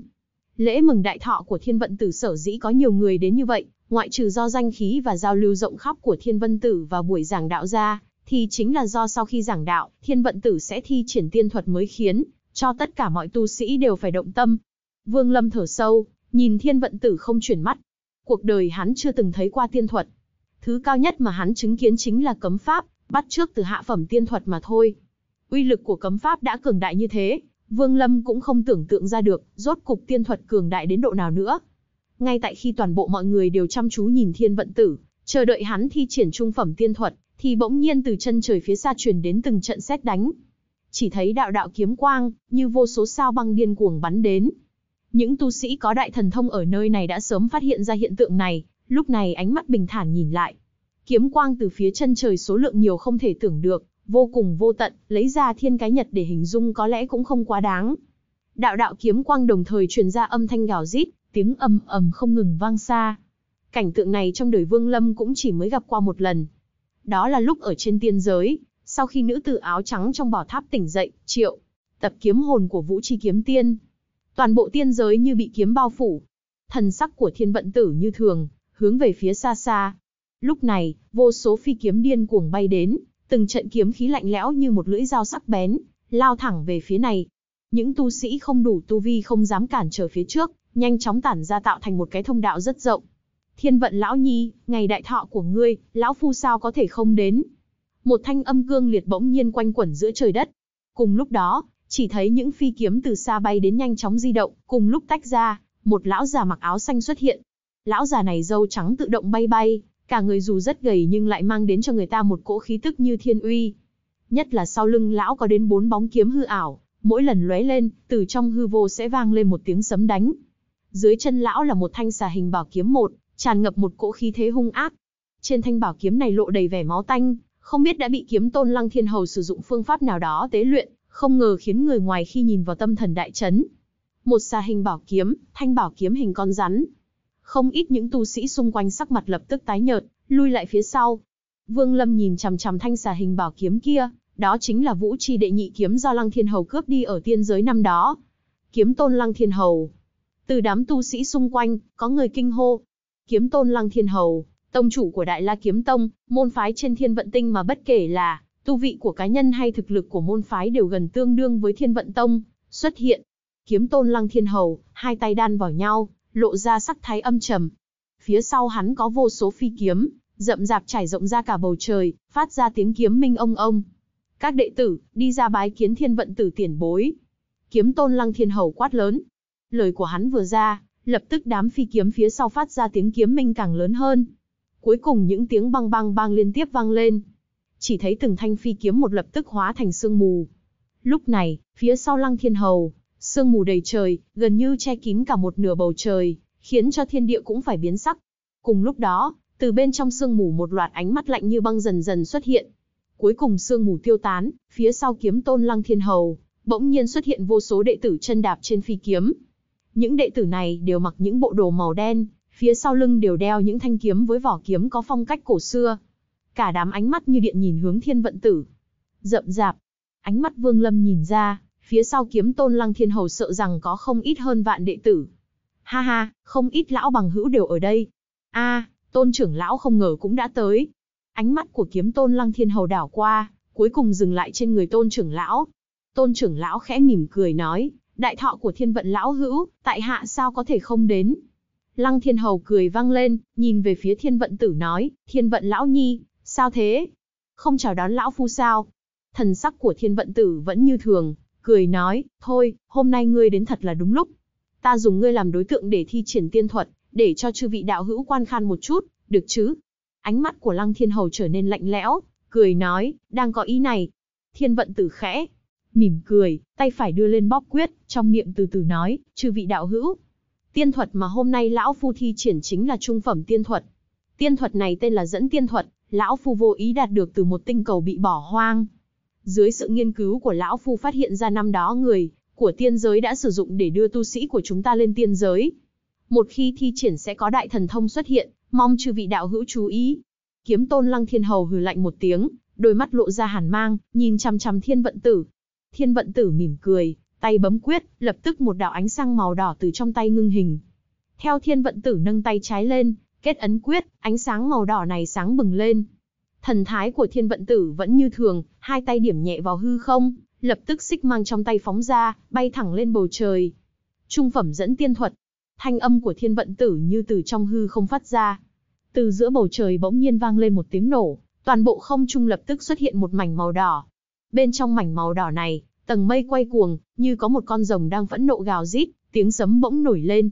Đúng lúc đó, từng trận sét đánh xuyên thấu tầng mây, như hàng vạn con rắn bạc, điên cuồng khuếch tán ra bốn phía. Lúc này giữa không trung giống như là sóng dữ trên mặt biển, một cỗ thiên uy vô thanh vô tức từ trên trời giáng xuống. Dưới thiên uy này, một bộ phận lớn trong số những tu sĩ xung quanh lập tức sắc mặt tái nhợt, từ giữa không trung hạ xuống, khoanh chân mà ngồi. Vương Lâm nhìn lên không trung, tiên lực trong cơ thể dần dần hỗn loạn. Dường như trên không trung có một cỗ lực lượng thần kỳ nào đó dẫn dắt, khiến cho thân thể hắn không tự chủ được phải run lên. Chỉ duy nhất bên trong cánh tay trái, cỗ tam chuyển kim tiên lực lặng lẽ vận chuyển. Đáy lòng Vương Lâm khẽ động, lập tức đem tam chuyển kim tiên lực từ trong cánh tay trái thả ra, lưu chuyển toàn thân. Hắn tận lực khống chế cỗ kim tiên lực này, để không cùng tiếp xúc với cỗ tiên lực vốn có trong cơ thể, mà lẫn nhau thay đổi. Đợi cho kim tiên lực lưu chuyển được một vòng, thân thể đang run rẩy của Vương Lâm mới dần dịu lại, cuối cùng tuy sắc mặt vẫn hơi tái nhợt nhưng đã đứng thẳng lại. Chương 468, dẫn tiên thuật. Còn Bạch Vi, kiên trì thêm được một chút rồi than thầm một tiếng, thân mình rơi xuống, ngồi lại trên mặt đất. Toàn bộ tử hệ, ngoại trừ Vương Lâm chỉ còn có vị tứ sư tỷ là thần thái vẫn như thường, bình tĩnh nhìn không chung. Ngoại trừ hai người hắn, những đệ tử tầm thường của tử hệ đã sớm không chịu đựng được, từ giữa không trung hạ xuống. Không chỉ có mỗi tử hệ, ngay cả sáu hệ khác, tuyệt đại bộ phận những đệ tử bình thường cũng đều đã hạ xuống. Chỉ có những người có tu vi cao thâm mới miễn cưỡng đứng thẳng được. Tuy nhiên, trong số đệ tử của thiên vận tử trong sáu hệ khác, không ngờ không có một người nào từ giữa không trung hạ xuống, đều đứng tại chỗ. Mặc dù sắc mặt cũng hơi chút tái nhợt như Vương Lâm nhưng vẫn đang kiên trì. Sắc mặt của Vương Lâm, sau khi kim tiên lực vận chuyển được ba vòng thì đã khôi phục lại như thường. Tứ sư tỷ liếc mắt nhìn Vương Lâm một cái đầy thâm ý, không nói gì cả. Ánh mắt của thiên vận tử lộ ra quang manh bình thản, tay phải điểm cách không hướng về lăng thiên hầu. Nhưng lập tức, tay phải lão chỉ trách sang một chút, khi hạ súng đã điểm về phía sau lăng thiên hầu, lên đám đệ tử đang đạp trên phi kiếm. Sắc mặt của kiếm tôn lăng thiên hầu trầm xuống, thân mình hắn khẽ động, muốn lên phía trước. Nhưng đúng lúc này, thiên vận tử mỉm cười, trong miệng thốt lên, dẫn độ. Lời này vừa ra, từ tầng mây trong không trung lập tức truyền ra từng tiếng nổ ầm ầm. Toàn bộ không trung như bị một đôi tay vô hình xé mở ra, lộ ra một mảng trống rỗng thật lớn. Trận trận ánh sáng bảy màu bỗng nhiên từ trên trời giáng xuống, bao lấy toàn bộ đệ tử phía sau Lăng Thiên Hầu. Vẻ mặt băng lãnh của đám đệ tử Đại La Kiếm Tông biến mất, thay vào đó là từng trận mê man.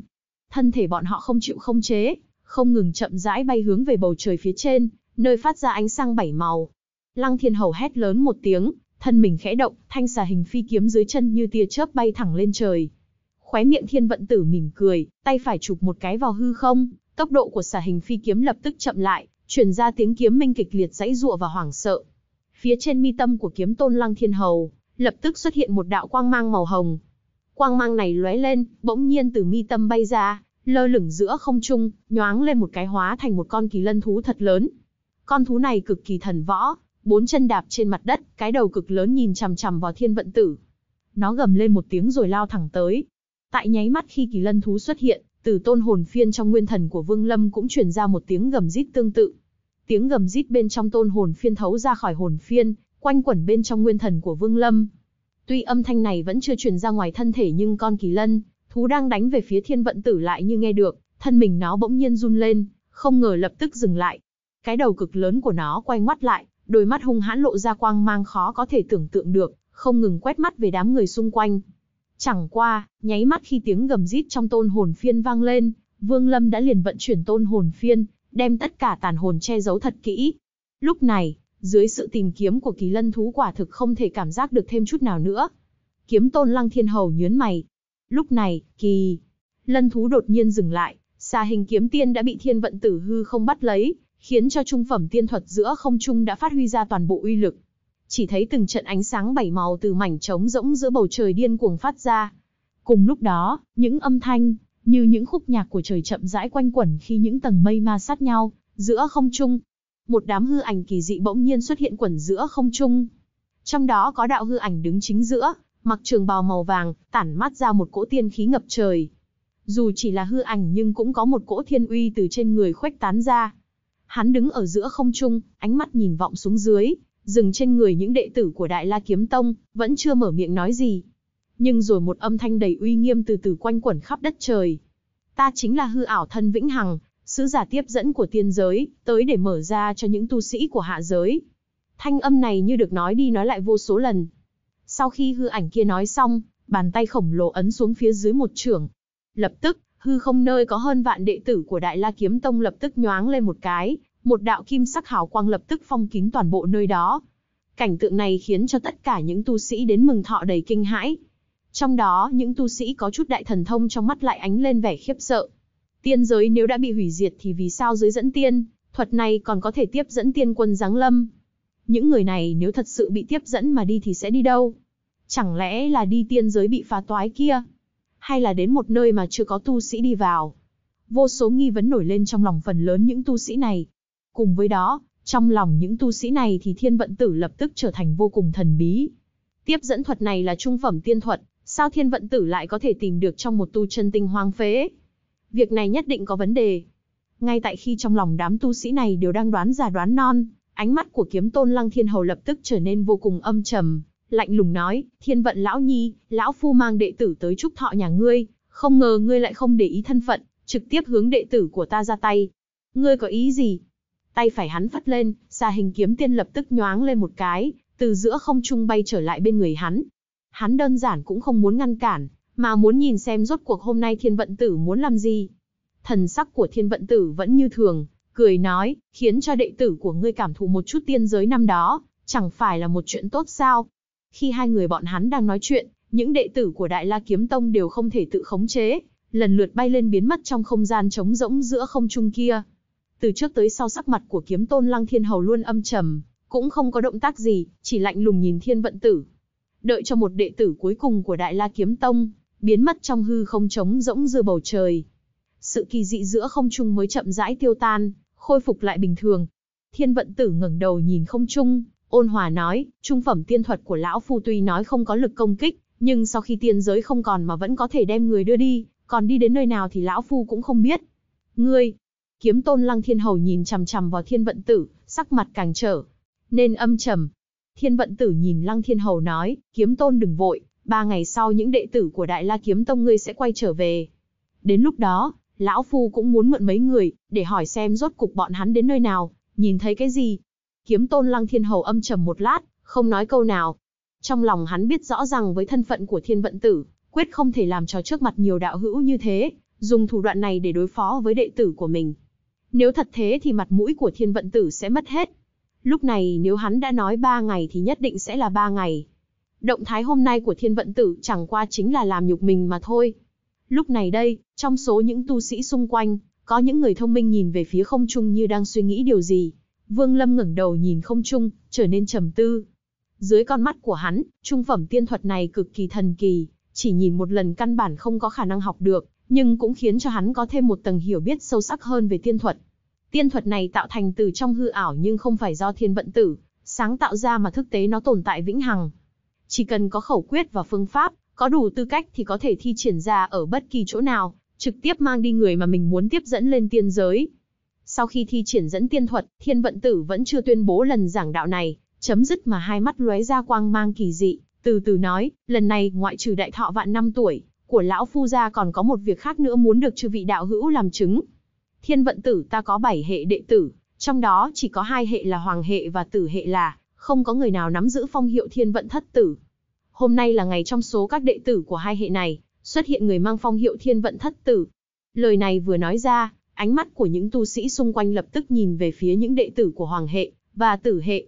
Chẳng qua tuyệt đại bộ phận mọi người đều nhìn về phía hoàng hệ, còn tử hệ thì không có mấy người chú ý. Dù sao gần như mọi người đều biết tử hệ quá yếu. Hoàng hệ có 6 người.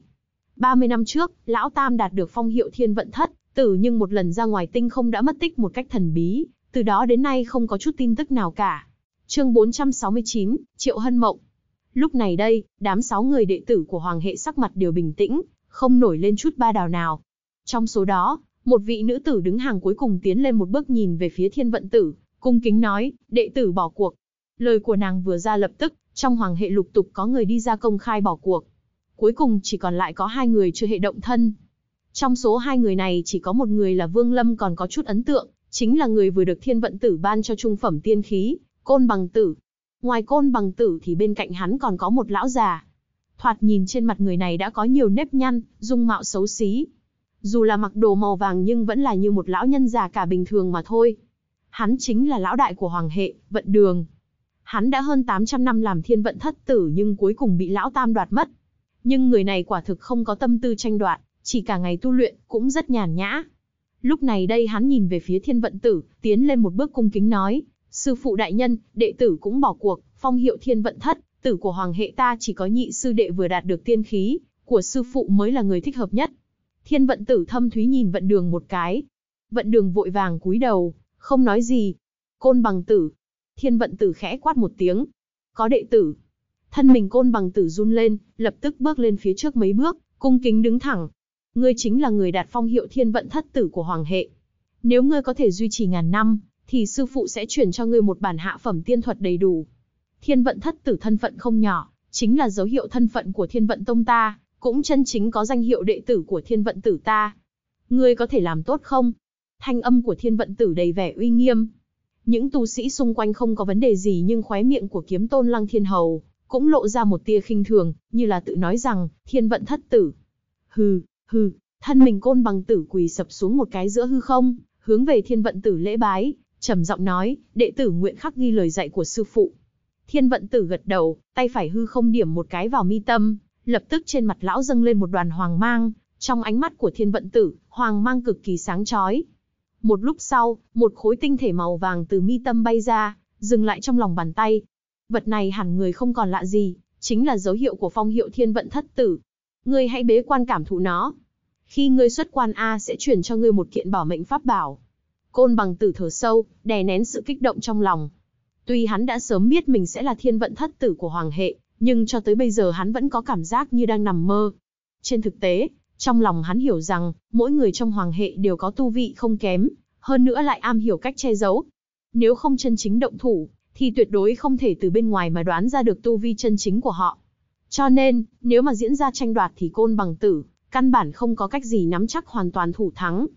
Trọng yếu nhất chính là sự tồn tại của đại sư huynh trong hoàng hệ.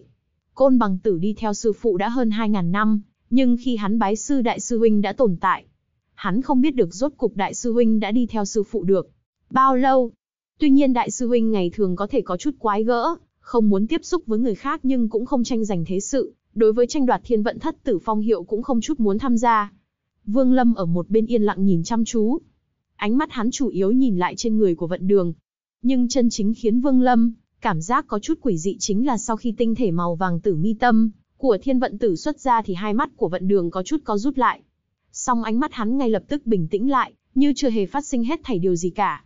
Nếu không phải Vương Lâm chăm chú nhìn quả thực không thể phát hiện ra được chi tiết này. Có lẽ do hắn nhìn quá lâu, vận đường ngẩng đầu quét mắt nhìn hắn một cái, khóe miệng lộ ra một chút mỉm cười. Bạch Vi gật đầu cung kính nói, đệ tử bỏ cuộc. Tứ sư tỷ, Triệu Hân Mộng, ánh mắt nhíu lại, nhìn về phía Vương Lâm, hạ giọng nói, lão thất, nếu là ta cũng bỏ cuộc thì việc ngươi đạt được phong hiệu này, không khỏi cũng quá đơn giản. Ngày hôm nay, ta và ngươi chiến một trận đi. Trong đầu Vương Lâm hiện lên ánh mắt sợ hãi của vận đường trước đó, đáy lòng không khỏi xuất hiện chút do dự. Đệ tử, bỏ cuộc. Vương Lâm thở sâu, nhìn về phía thiên vận tử nói. Thiên vận tử đột nhiên ngẩn ra. Loại vẻ mặt này gần như là lần đầu tiên Vương Lâm thấy xuất hiện trên người lão. Thiên vận tử nhớn mày nhìn về phía Vương Lâm, trầm giọng nói, vì sao bỏ cuộc? Vẻ mặt bình tĩnh trên mặt của Triệu Hân Mộng cũng biến mất, lộ ra một tia cổ quái. Nàng nhìn Vương Lâm trầm mặc không nói. Trong đầu Vương Lâm, ánh mắt sợ hãi của vận đường thủy trung vẫn không tiêu tán. Lúc này nghe được thiên vận tử hỏi, trầm tư một chút nói, tu vi của đệ tử không đủ, không thể cướp đoạt được với tứ sư tỷ. Vương Lâm. Thiên vận tử cắt ngang lời của Vương Lâm, nhìn hắn một cái thật sâu, trầm giọng nói, vi sư hy vọng ngươi tranh đoạt một lần. Đệ tử của ta không có loại người yếu đuối. Ngươi cũng đừng để người ngoài mê hoặc, làm trong lòng nổi lên tạp niệm. Ngươi chỉ cần nhớ rõ, hết thảy tùy tâm mà làm. Ta cho ngươi thời gian nửa nén hương, ngươi cẩn thận suy xét kỹ càng. Nếu ngươi vẫn bỏ cuộc, ta cũng không khuyên bảo thêm nữa. Thiên vận tử cao mày, sau khi nói xong ánh mắt dừng lại trên người lão đại của hoàng hệ. Trong ánh mắt lão lóe lên một tia âm trầm rồi biến mất. Vận đường nhận thấy ánh mắt của sư phụ lập tức đáy lòng run lên, vội vàng cúi đầu. Lời nói của thiên vận tử rơi vào, trong tai những đệ tử của sáu hệ còn lại đều khiến bọn họ đổ dồn về vương lâm.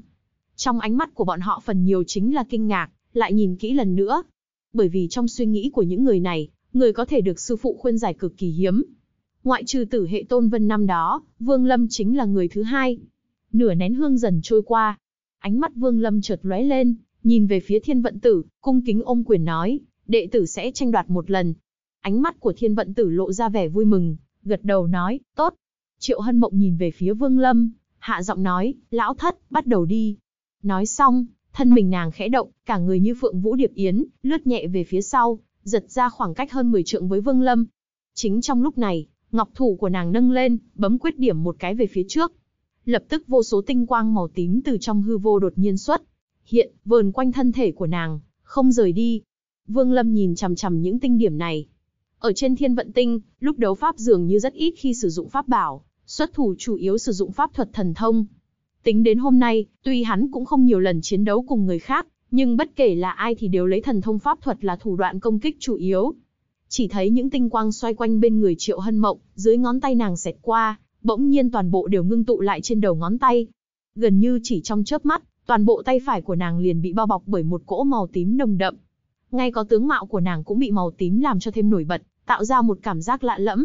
Lão thất, đạo của sư tỷ ngươi vẫn không biết được, hôm nay ta liền nói cho ngươi. Đạo của ta chính là yêu ảnh đạo.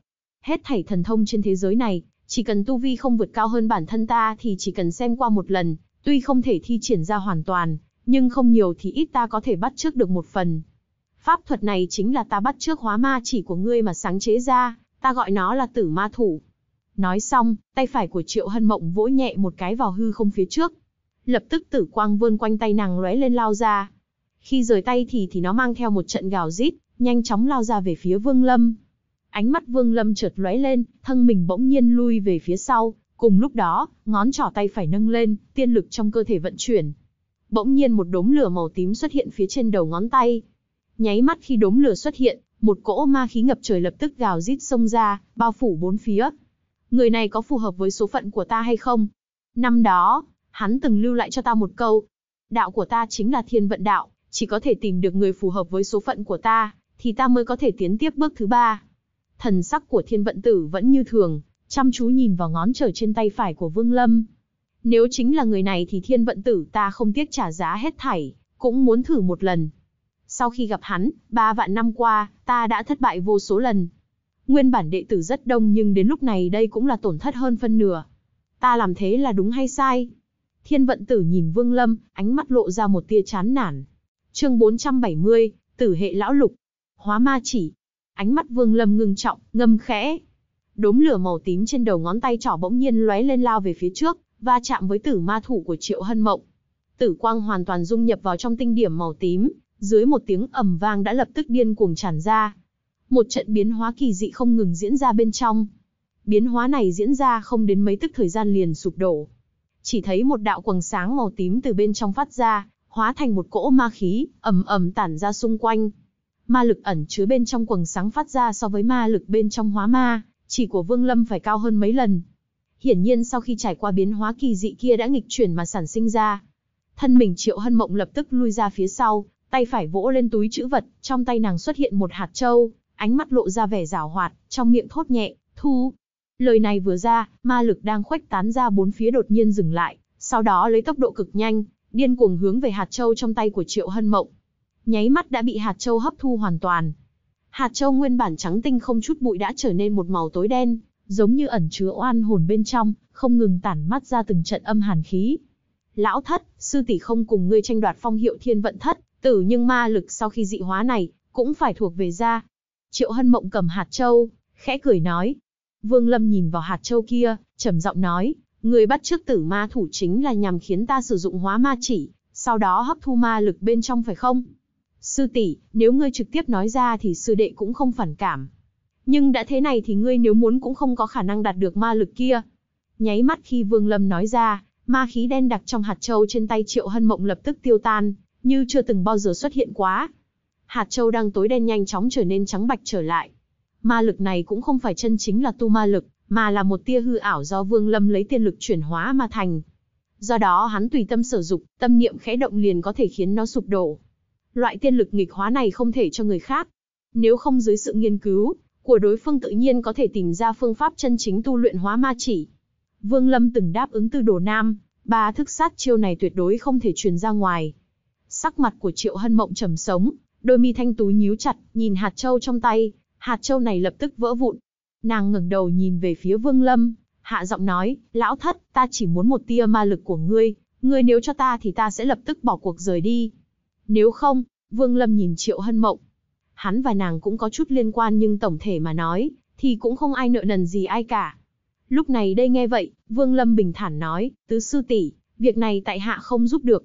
Triệu Hân Mộng nhìn về phía Vương Lâm, một lúc này nâng tay phải lên, trong miệng thốt nhẹ, cửu chuyển luyện tiên quyết. Lời này vừa nói ra một cỗ kim quang mênh mông từ trong cơ thể của Triệu Hân Mộng, điên cuồng lao ra. Cùng với đó sắc mặt của nàng cũng bị kim quang bao phủ, cảm giác đầy vẻ quỷ dị. Tay phải của nàng lúc này cũng giống như tạo thành từ kim trúc, phát ra từng trận kim mang. Một cỗ tiên lực có kim thuộc tính từ trong tay phải chậm rãi ngưng tụ, hình thành một đạo kim sắc lốc xoáy, chậm rãi chuyển động phía trên. Tay phải, một vòng, hai vòng, ba vòng, bốn vòng, năm vòng, tổng cộng quay tròn năm vòng, kim sắc lốc xoáy mới dừng lại một chút, xoay tròn ngược hướng. Ánh mắt Vương Lâm chợt lóe lên, hắn đưa tay trái lên, tam chuyển kim tiên lực bị giữ trong tay này, đột nhiên phát ra ngưng tụ trong lòng bàn tay. Chỉ thấy một lốc xoáy rồng dạng, vô thanh vô tức xuất hiện ở trên tay trái Vương Lâm, chậm rãi xoay tròn. Một vòng, hai vòng, ba vòng. Trong mắt Triệu Hân Mộng hiện lên một tia kinh ngạc. Nàng giao cho Vương Lâm cửu chuyển luyện tiên quyết cũng chỉ có mấy ngày, nhưng không ngờ chỉ trong thời gian ngắn ngủi, như thế mà đối phương đã tuy luyện ra tam chuyển lực. Điểm này vượt quá khả năng tưởng tượng của nàng. Lão thất, tam chuyển lực đối với ta cũng vô dụng. Triệu Hân Mộng thu hồi vẻ kinh ngạc trong mắt, bình thản nói. Thần sắc của Vương Lâm vẫn như thường. Tiên lực trong cơ thể đột nhiên vận chuyển, một đạo trong đó theo tay trái dung nhập vào tam chuyển kim tiên lực. Bỗng nhiên, tam chuyển lực lại chuyển động mạnh, không ngờ lại xoay tròn thêm một vòng. Hiện tại là tứ chuyển. Vương Lâm nói xong, một đạo tiên lực trong cơ thể lại bay ra, tiến vào trong tay trái. Tứ chuyển kim tiên lực lại chuyển. Hiện tại là ngũ chuyển. Thần sắc của Vương Lâm vẫn như thường, nhưng trong cơ thể cũng phải chịu đau đớn cực lớn. Kim tiên lực trên tay trái có chút không thể khống chế được. Nhưng vẻ tiêu sái của Vương Lâm khiến Triệu Hân Mộng cũng không thể biết được. Dù sao hết thảy những việc đã trải qua ở Chu Tước Tinh, loại đệ tử danh môn chính phái như Triệu Hân Mộng, từ trước tới nay không có khả năng nếm trải. Lúc này đây, dưới con mắt của Triệu Hân Mộng, thần sắc của Vương Lâm vẫn như thường, sắc mặt thong dong, căn bản nhìn không ra chút manh mối nào. Vương Lâm khẽ mỉm cười, nhìn về phía Triệu Hân Mộng, nói, ngươi có muốn nhìn một chút lục chuyển kim tiên lực của ta không?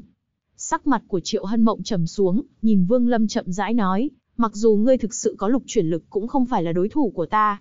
Vương Lâm cười lớn, tay phải vỗ túi chữ vật, lập tức chiến phủ của cự ma tộc hóa thành một đạo hắc mang lao ra, trực tiếp phiêu phủ giữa hư không. Cùng lúc đó, khu thú quyển nơi cổ tay Vương Lâm bay ra, phịch một tiếng hóa thành xạ thần xa. Có thêm hai thứ này nữa, đánh với ngươi thì như thế nào?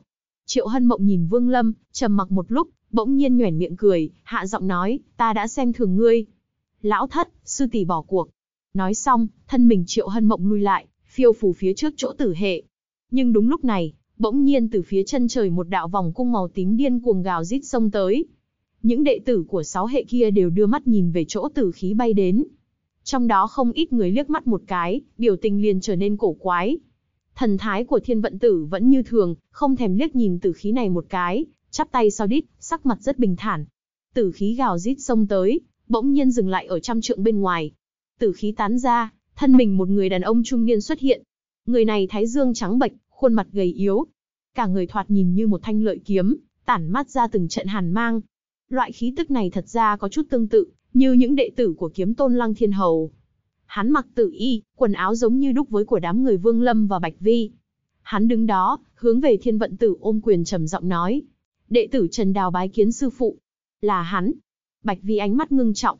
Tứ sư tỷ triệu hân mộng cũng chăm chú nhìn về phía người này, bỗng nhiên trong mắt hiện lên một tia phức tạp. Tử hệ lão lục. Người đạt phong hiệu thiên vận thất tử trước thời tôn vân. Nghe nói người này đi theo sư phụ đã rất lâu.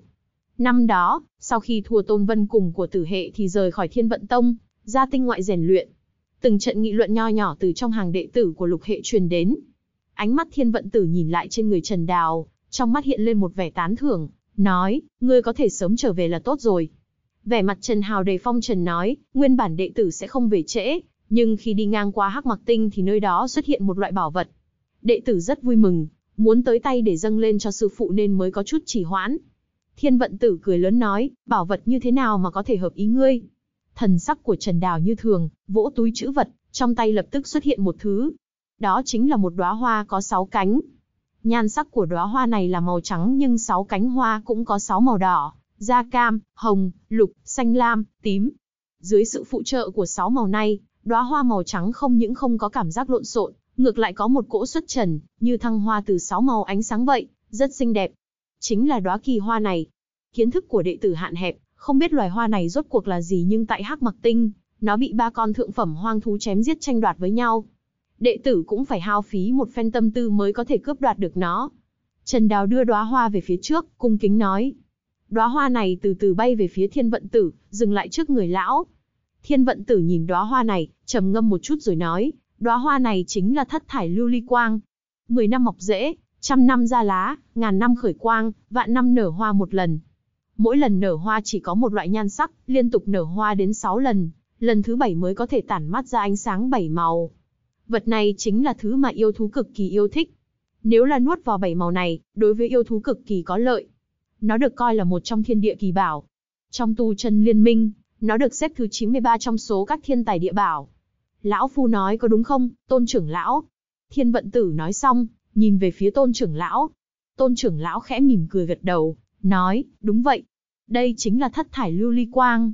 Chỉ có điều hỏa hậu hơi kém một chút, chưa xuất ra cánh hoa thứ bảy.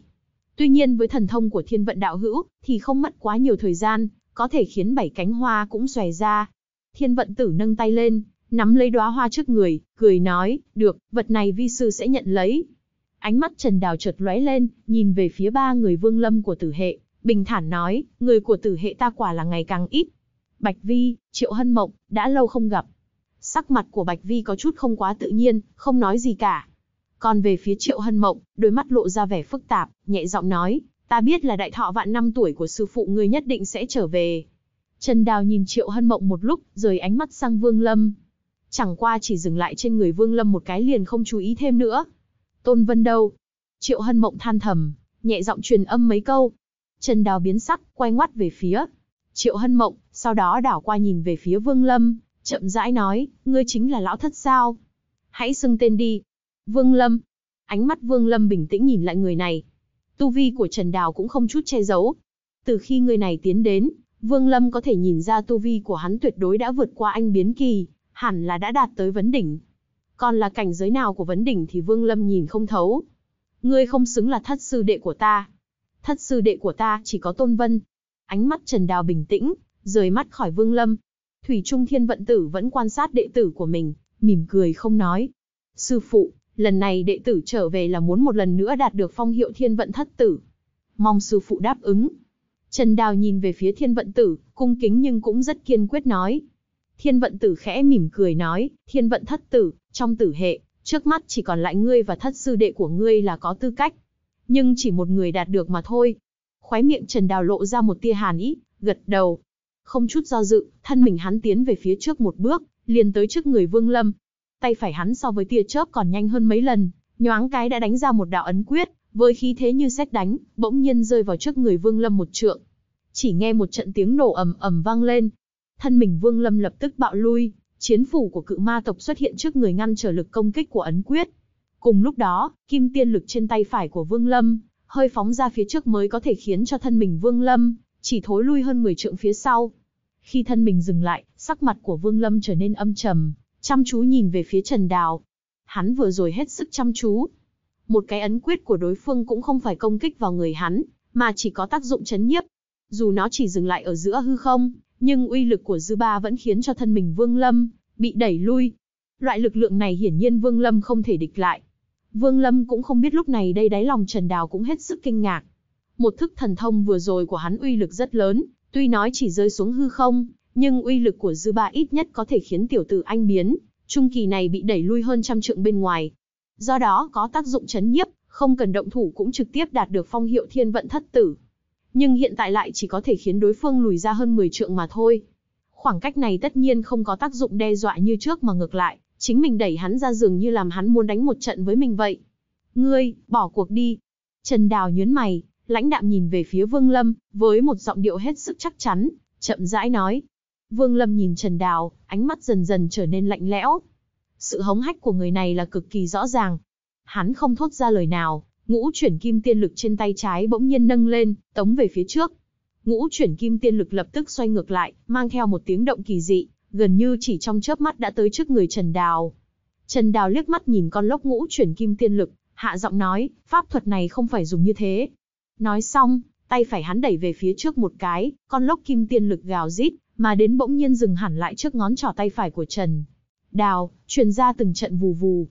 Ngón trỏ tay phải của Trần Đào bắn về phía cơn lốc này. Con lốc kim tiên lực này, không ngờ dừng một chút rồi nó lại chậm rãi tăng thêm một vòng, uy lực của nó đã lớn hơn nữa. Lúc này đây, nó đã đạt đến 6 vòng. Ngón tay của Trần Đào vẫn chưa dừng lại, liên tiếp bắn ra ba lần. Bỗng nhiên, một cỗ khí tức như có thể hủy thiên diệt địa từ con lốc này điên cuồng truyền ra. Lúc này đây, con lốc này đã đạt tới 9 vòng. Trần Đào ngẩng đầu nhìn Vương Lâm với ánh mắt khinh miệt. Tay phải hắn ấn về phía trước một cái, cơn lốc cửu chuyển kim tiên bỗng nhiên thay đổi phương hướng, gào rít lao đến Vương Lâm. Sắc mặt của Vương Lâm rất âm trầm, thân mình lập tức lui về sau, tay phải hư không bắt lấy chiến phủ, thân mình nhảy lên bổ xuống một cái. Chỉ nghe thấy một trận ầm ầm vang lên, bên trên chiến phủ có một đạo phủ mang dài chừng 10 trượng, điên cuồng gào rít xông ra, trực tiếp bổ xuống cơn lốc cửu chuyển đang gào rít lao tới. Phủ mang lóe lên sông qua, nhưng cơn lốc cửu chuyển cũng chỉ nhoáng lên một cái, hơi dừng một chút, rồi lại cực nhanh xông đến thẳng chỗ Vương Lâm. Vương Lâm lâm nguy bất loạn, tay phải đưa ra vẽ lên giữa không trung. Lập tức một đạo ngân mang bọc lấy phía trên cơn lốc cửu chuyển đang lao đến kia. Cùng lúc đó, Vương Lâm thi triển thuấn di. Chẳng qua mục tiêu thi triển không phải là bản thân hắn, mà là ngân mang đang bao bọc lấy cơn lốc cửu chuyển kia. Từng đạo thuấn di thuật bị hai tay Vương Lâm huy vũ cực nhanh. Gần như chỉ trong chớp mắt đã hoàn thành tất cả, trong miệng hắn thốt nhẹ, đại na di. Lời này vừa ra, cơn lốc cửu chuyển bị ngân mang bao bọc lấy kia đã tới trước người, cách Vương Lâm ba trượng. Từng trận khí tức hủy diệt điên cuồng ập tới người Vương Lâm, nhưng thần sắc của hắn vẫn không có nửa điểm hoảng hốt. Cơn lốc cửu chuyển điên cuồng mà đến nhưng ngay lúc chỉ còn cách một trượng là, đánh tới Vương Lâm thì bỗng nhiên ngân mang bao bọc bên ngoài nó lóe lên kịch liệt, cuối cùng không ngờ ở trước mặt Vương Lâm biến mất sạch sẽ, như chưa từng xuất hiện vậy. Cảnh tượng này khiến cho những tu sĩ xung quanh nhìn thấy lập tức hai mắt ngưng trọng. Trong mắt thiên vận tử hiện lên một tia tán thưởng, hơi gật đầu. Ánh mắt của Trần Đào chợt lóe, đối với Vương Lâm đáy lòng đã không còn khinh thường như trước nữa. Hết thảy những điều này đều phát sinh cực nhanh. Gần như nháy mắt khi cơn lốc cửu chuyển biến mất, chiến phủ trong tay Vương Lâm thu lại, kết ấn quyết, điểm một cái về phía xạ thần xa cách đó không xa, trong miệng hét lên, hồn thú, hiện. Xạ thần xa kia, Trần Đào chỉ có hơi liếc mắt nhìn, cũng không quá mức chú ý, lúc này mới quay ngoắt người lại nhìn về phía chiếc xe này. Chỉ thấy một cỗ ý niệm bất khuất bỗng nhiên phóng lên cao. Cùng lúc đó một hồn thú khổng lồ điên cuồng ngưng hình lao ra, phát ra tiếng gầm rít dữ dội. Thanh âm này xuyên thấu thiên địa, những đệ tử của sáu hệ còn lại lập tức đều lâm vào khiếp sợ, bọn họ chưa bao giờ gặp qua con hồn thú nào như thế. Sau khi nghe được tiếng gầm rít bất khuất của nó, trong lòng đệ tử của sáu hệ khác, thực lực của Vương Lâm lập tức được đẩy lên cao. Cho dù ánh mắt của những tu sĩ từ khắp nơi đến mừng thọ, cũng đều lộ ra quang mang kỳ dị. Nhất là vài vị lão quái có tu vi cao thâm lại nhìn chằm chằm hồn thú này, ánh mắt lộ ra vẻ trầm tư. Ngay cả kiếm tôn lăng thiên hầu sau khi nhìn thấy hồn thú này trong mắt cũng hiện, lên vẻ kinh ngạc. Vương Lâm đang ở giữa không trung quát khẽ, nuốt hắn. Hồn thú gầm rít nhảy lên, tốc độ cực nhanh, gần như chỉ trong nháy mắt đã tới trước Trần Đào. Trong mắt Trần Đào hiện lên một tia chiến ý, hai tay nhanh chóng bấm quyết, một đạo tử sắc quang cầu lập tức hình thành ở trước người hắn. Ngay khi hồn thú lao tới, nó lập tức nổ tung. Một tiếng nổ ầm vang lên, khiến cho đại bộ phận tu sĩ xung quanh bị chấn động nổ cả màng nhĩ. Chỉ thấy giữa không trung, thân mình Trần Đào cũng chưa bị đụng tới, nhưng quần áo trên người có nhiều chỗ đã bị phá nát, bộ dáng có chút chật vật. Về phần hồn thú thì bị lực công kích đẩy lùi ra sau mấy trăm trượng, thân mình nó lúc lắc một cái, lại điên cuồng vọt tới. Lúc này đây nhiều chỗ trên toàn thân nó xuất hiện dấu vết của thiết liên. Thiết liên kia thẳng tắp, một đầu là thân thể nó, đầu kia chính là xạ thần xa. Chiến ý trong mắt của Trần Đào càng thịnh, ngẩng đầu cười điên cuồng, quát, một đầu súc sinh khá lắm, cũng khiến ta có chút hứng thú. Nói xong, hắn xé văng quần áo trên người, lộ ra nửa thân người trên trần trụi. Hắn vỗ túi chữ vật, trong tay xuất hiện một trường thằng một màu đen. Sợi dây này giống như sợi gân của một sinh vật nào đó bị Trần Đào rút ra. Lập tức có một cỗ mùi vị chứa đầy khí tức hoang dã tràn ra, ập thẳng vào mặt. Một trường thằng, sợi dây thường dài,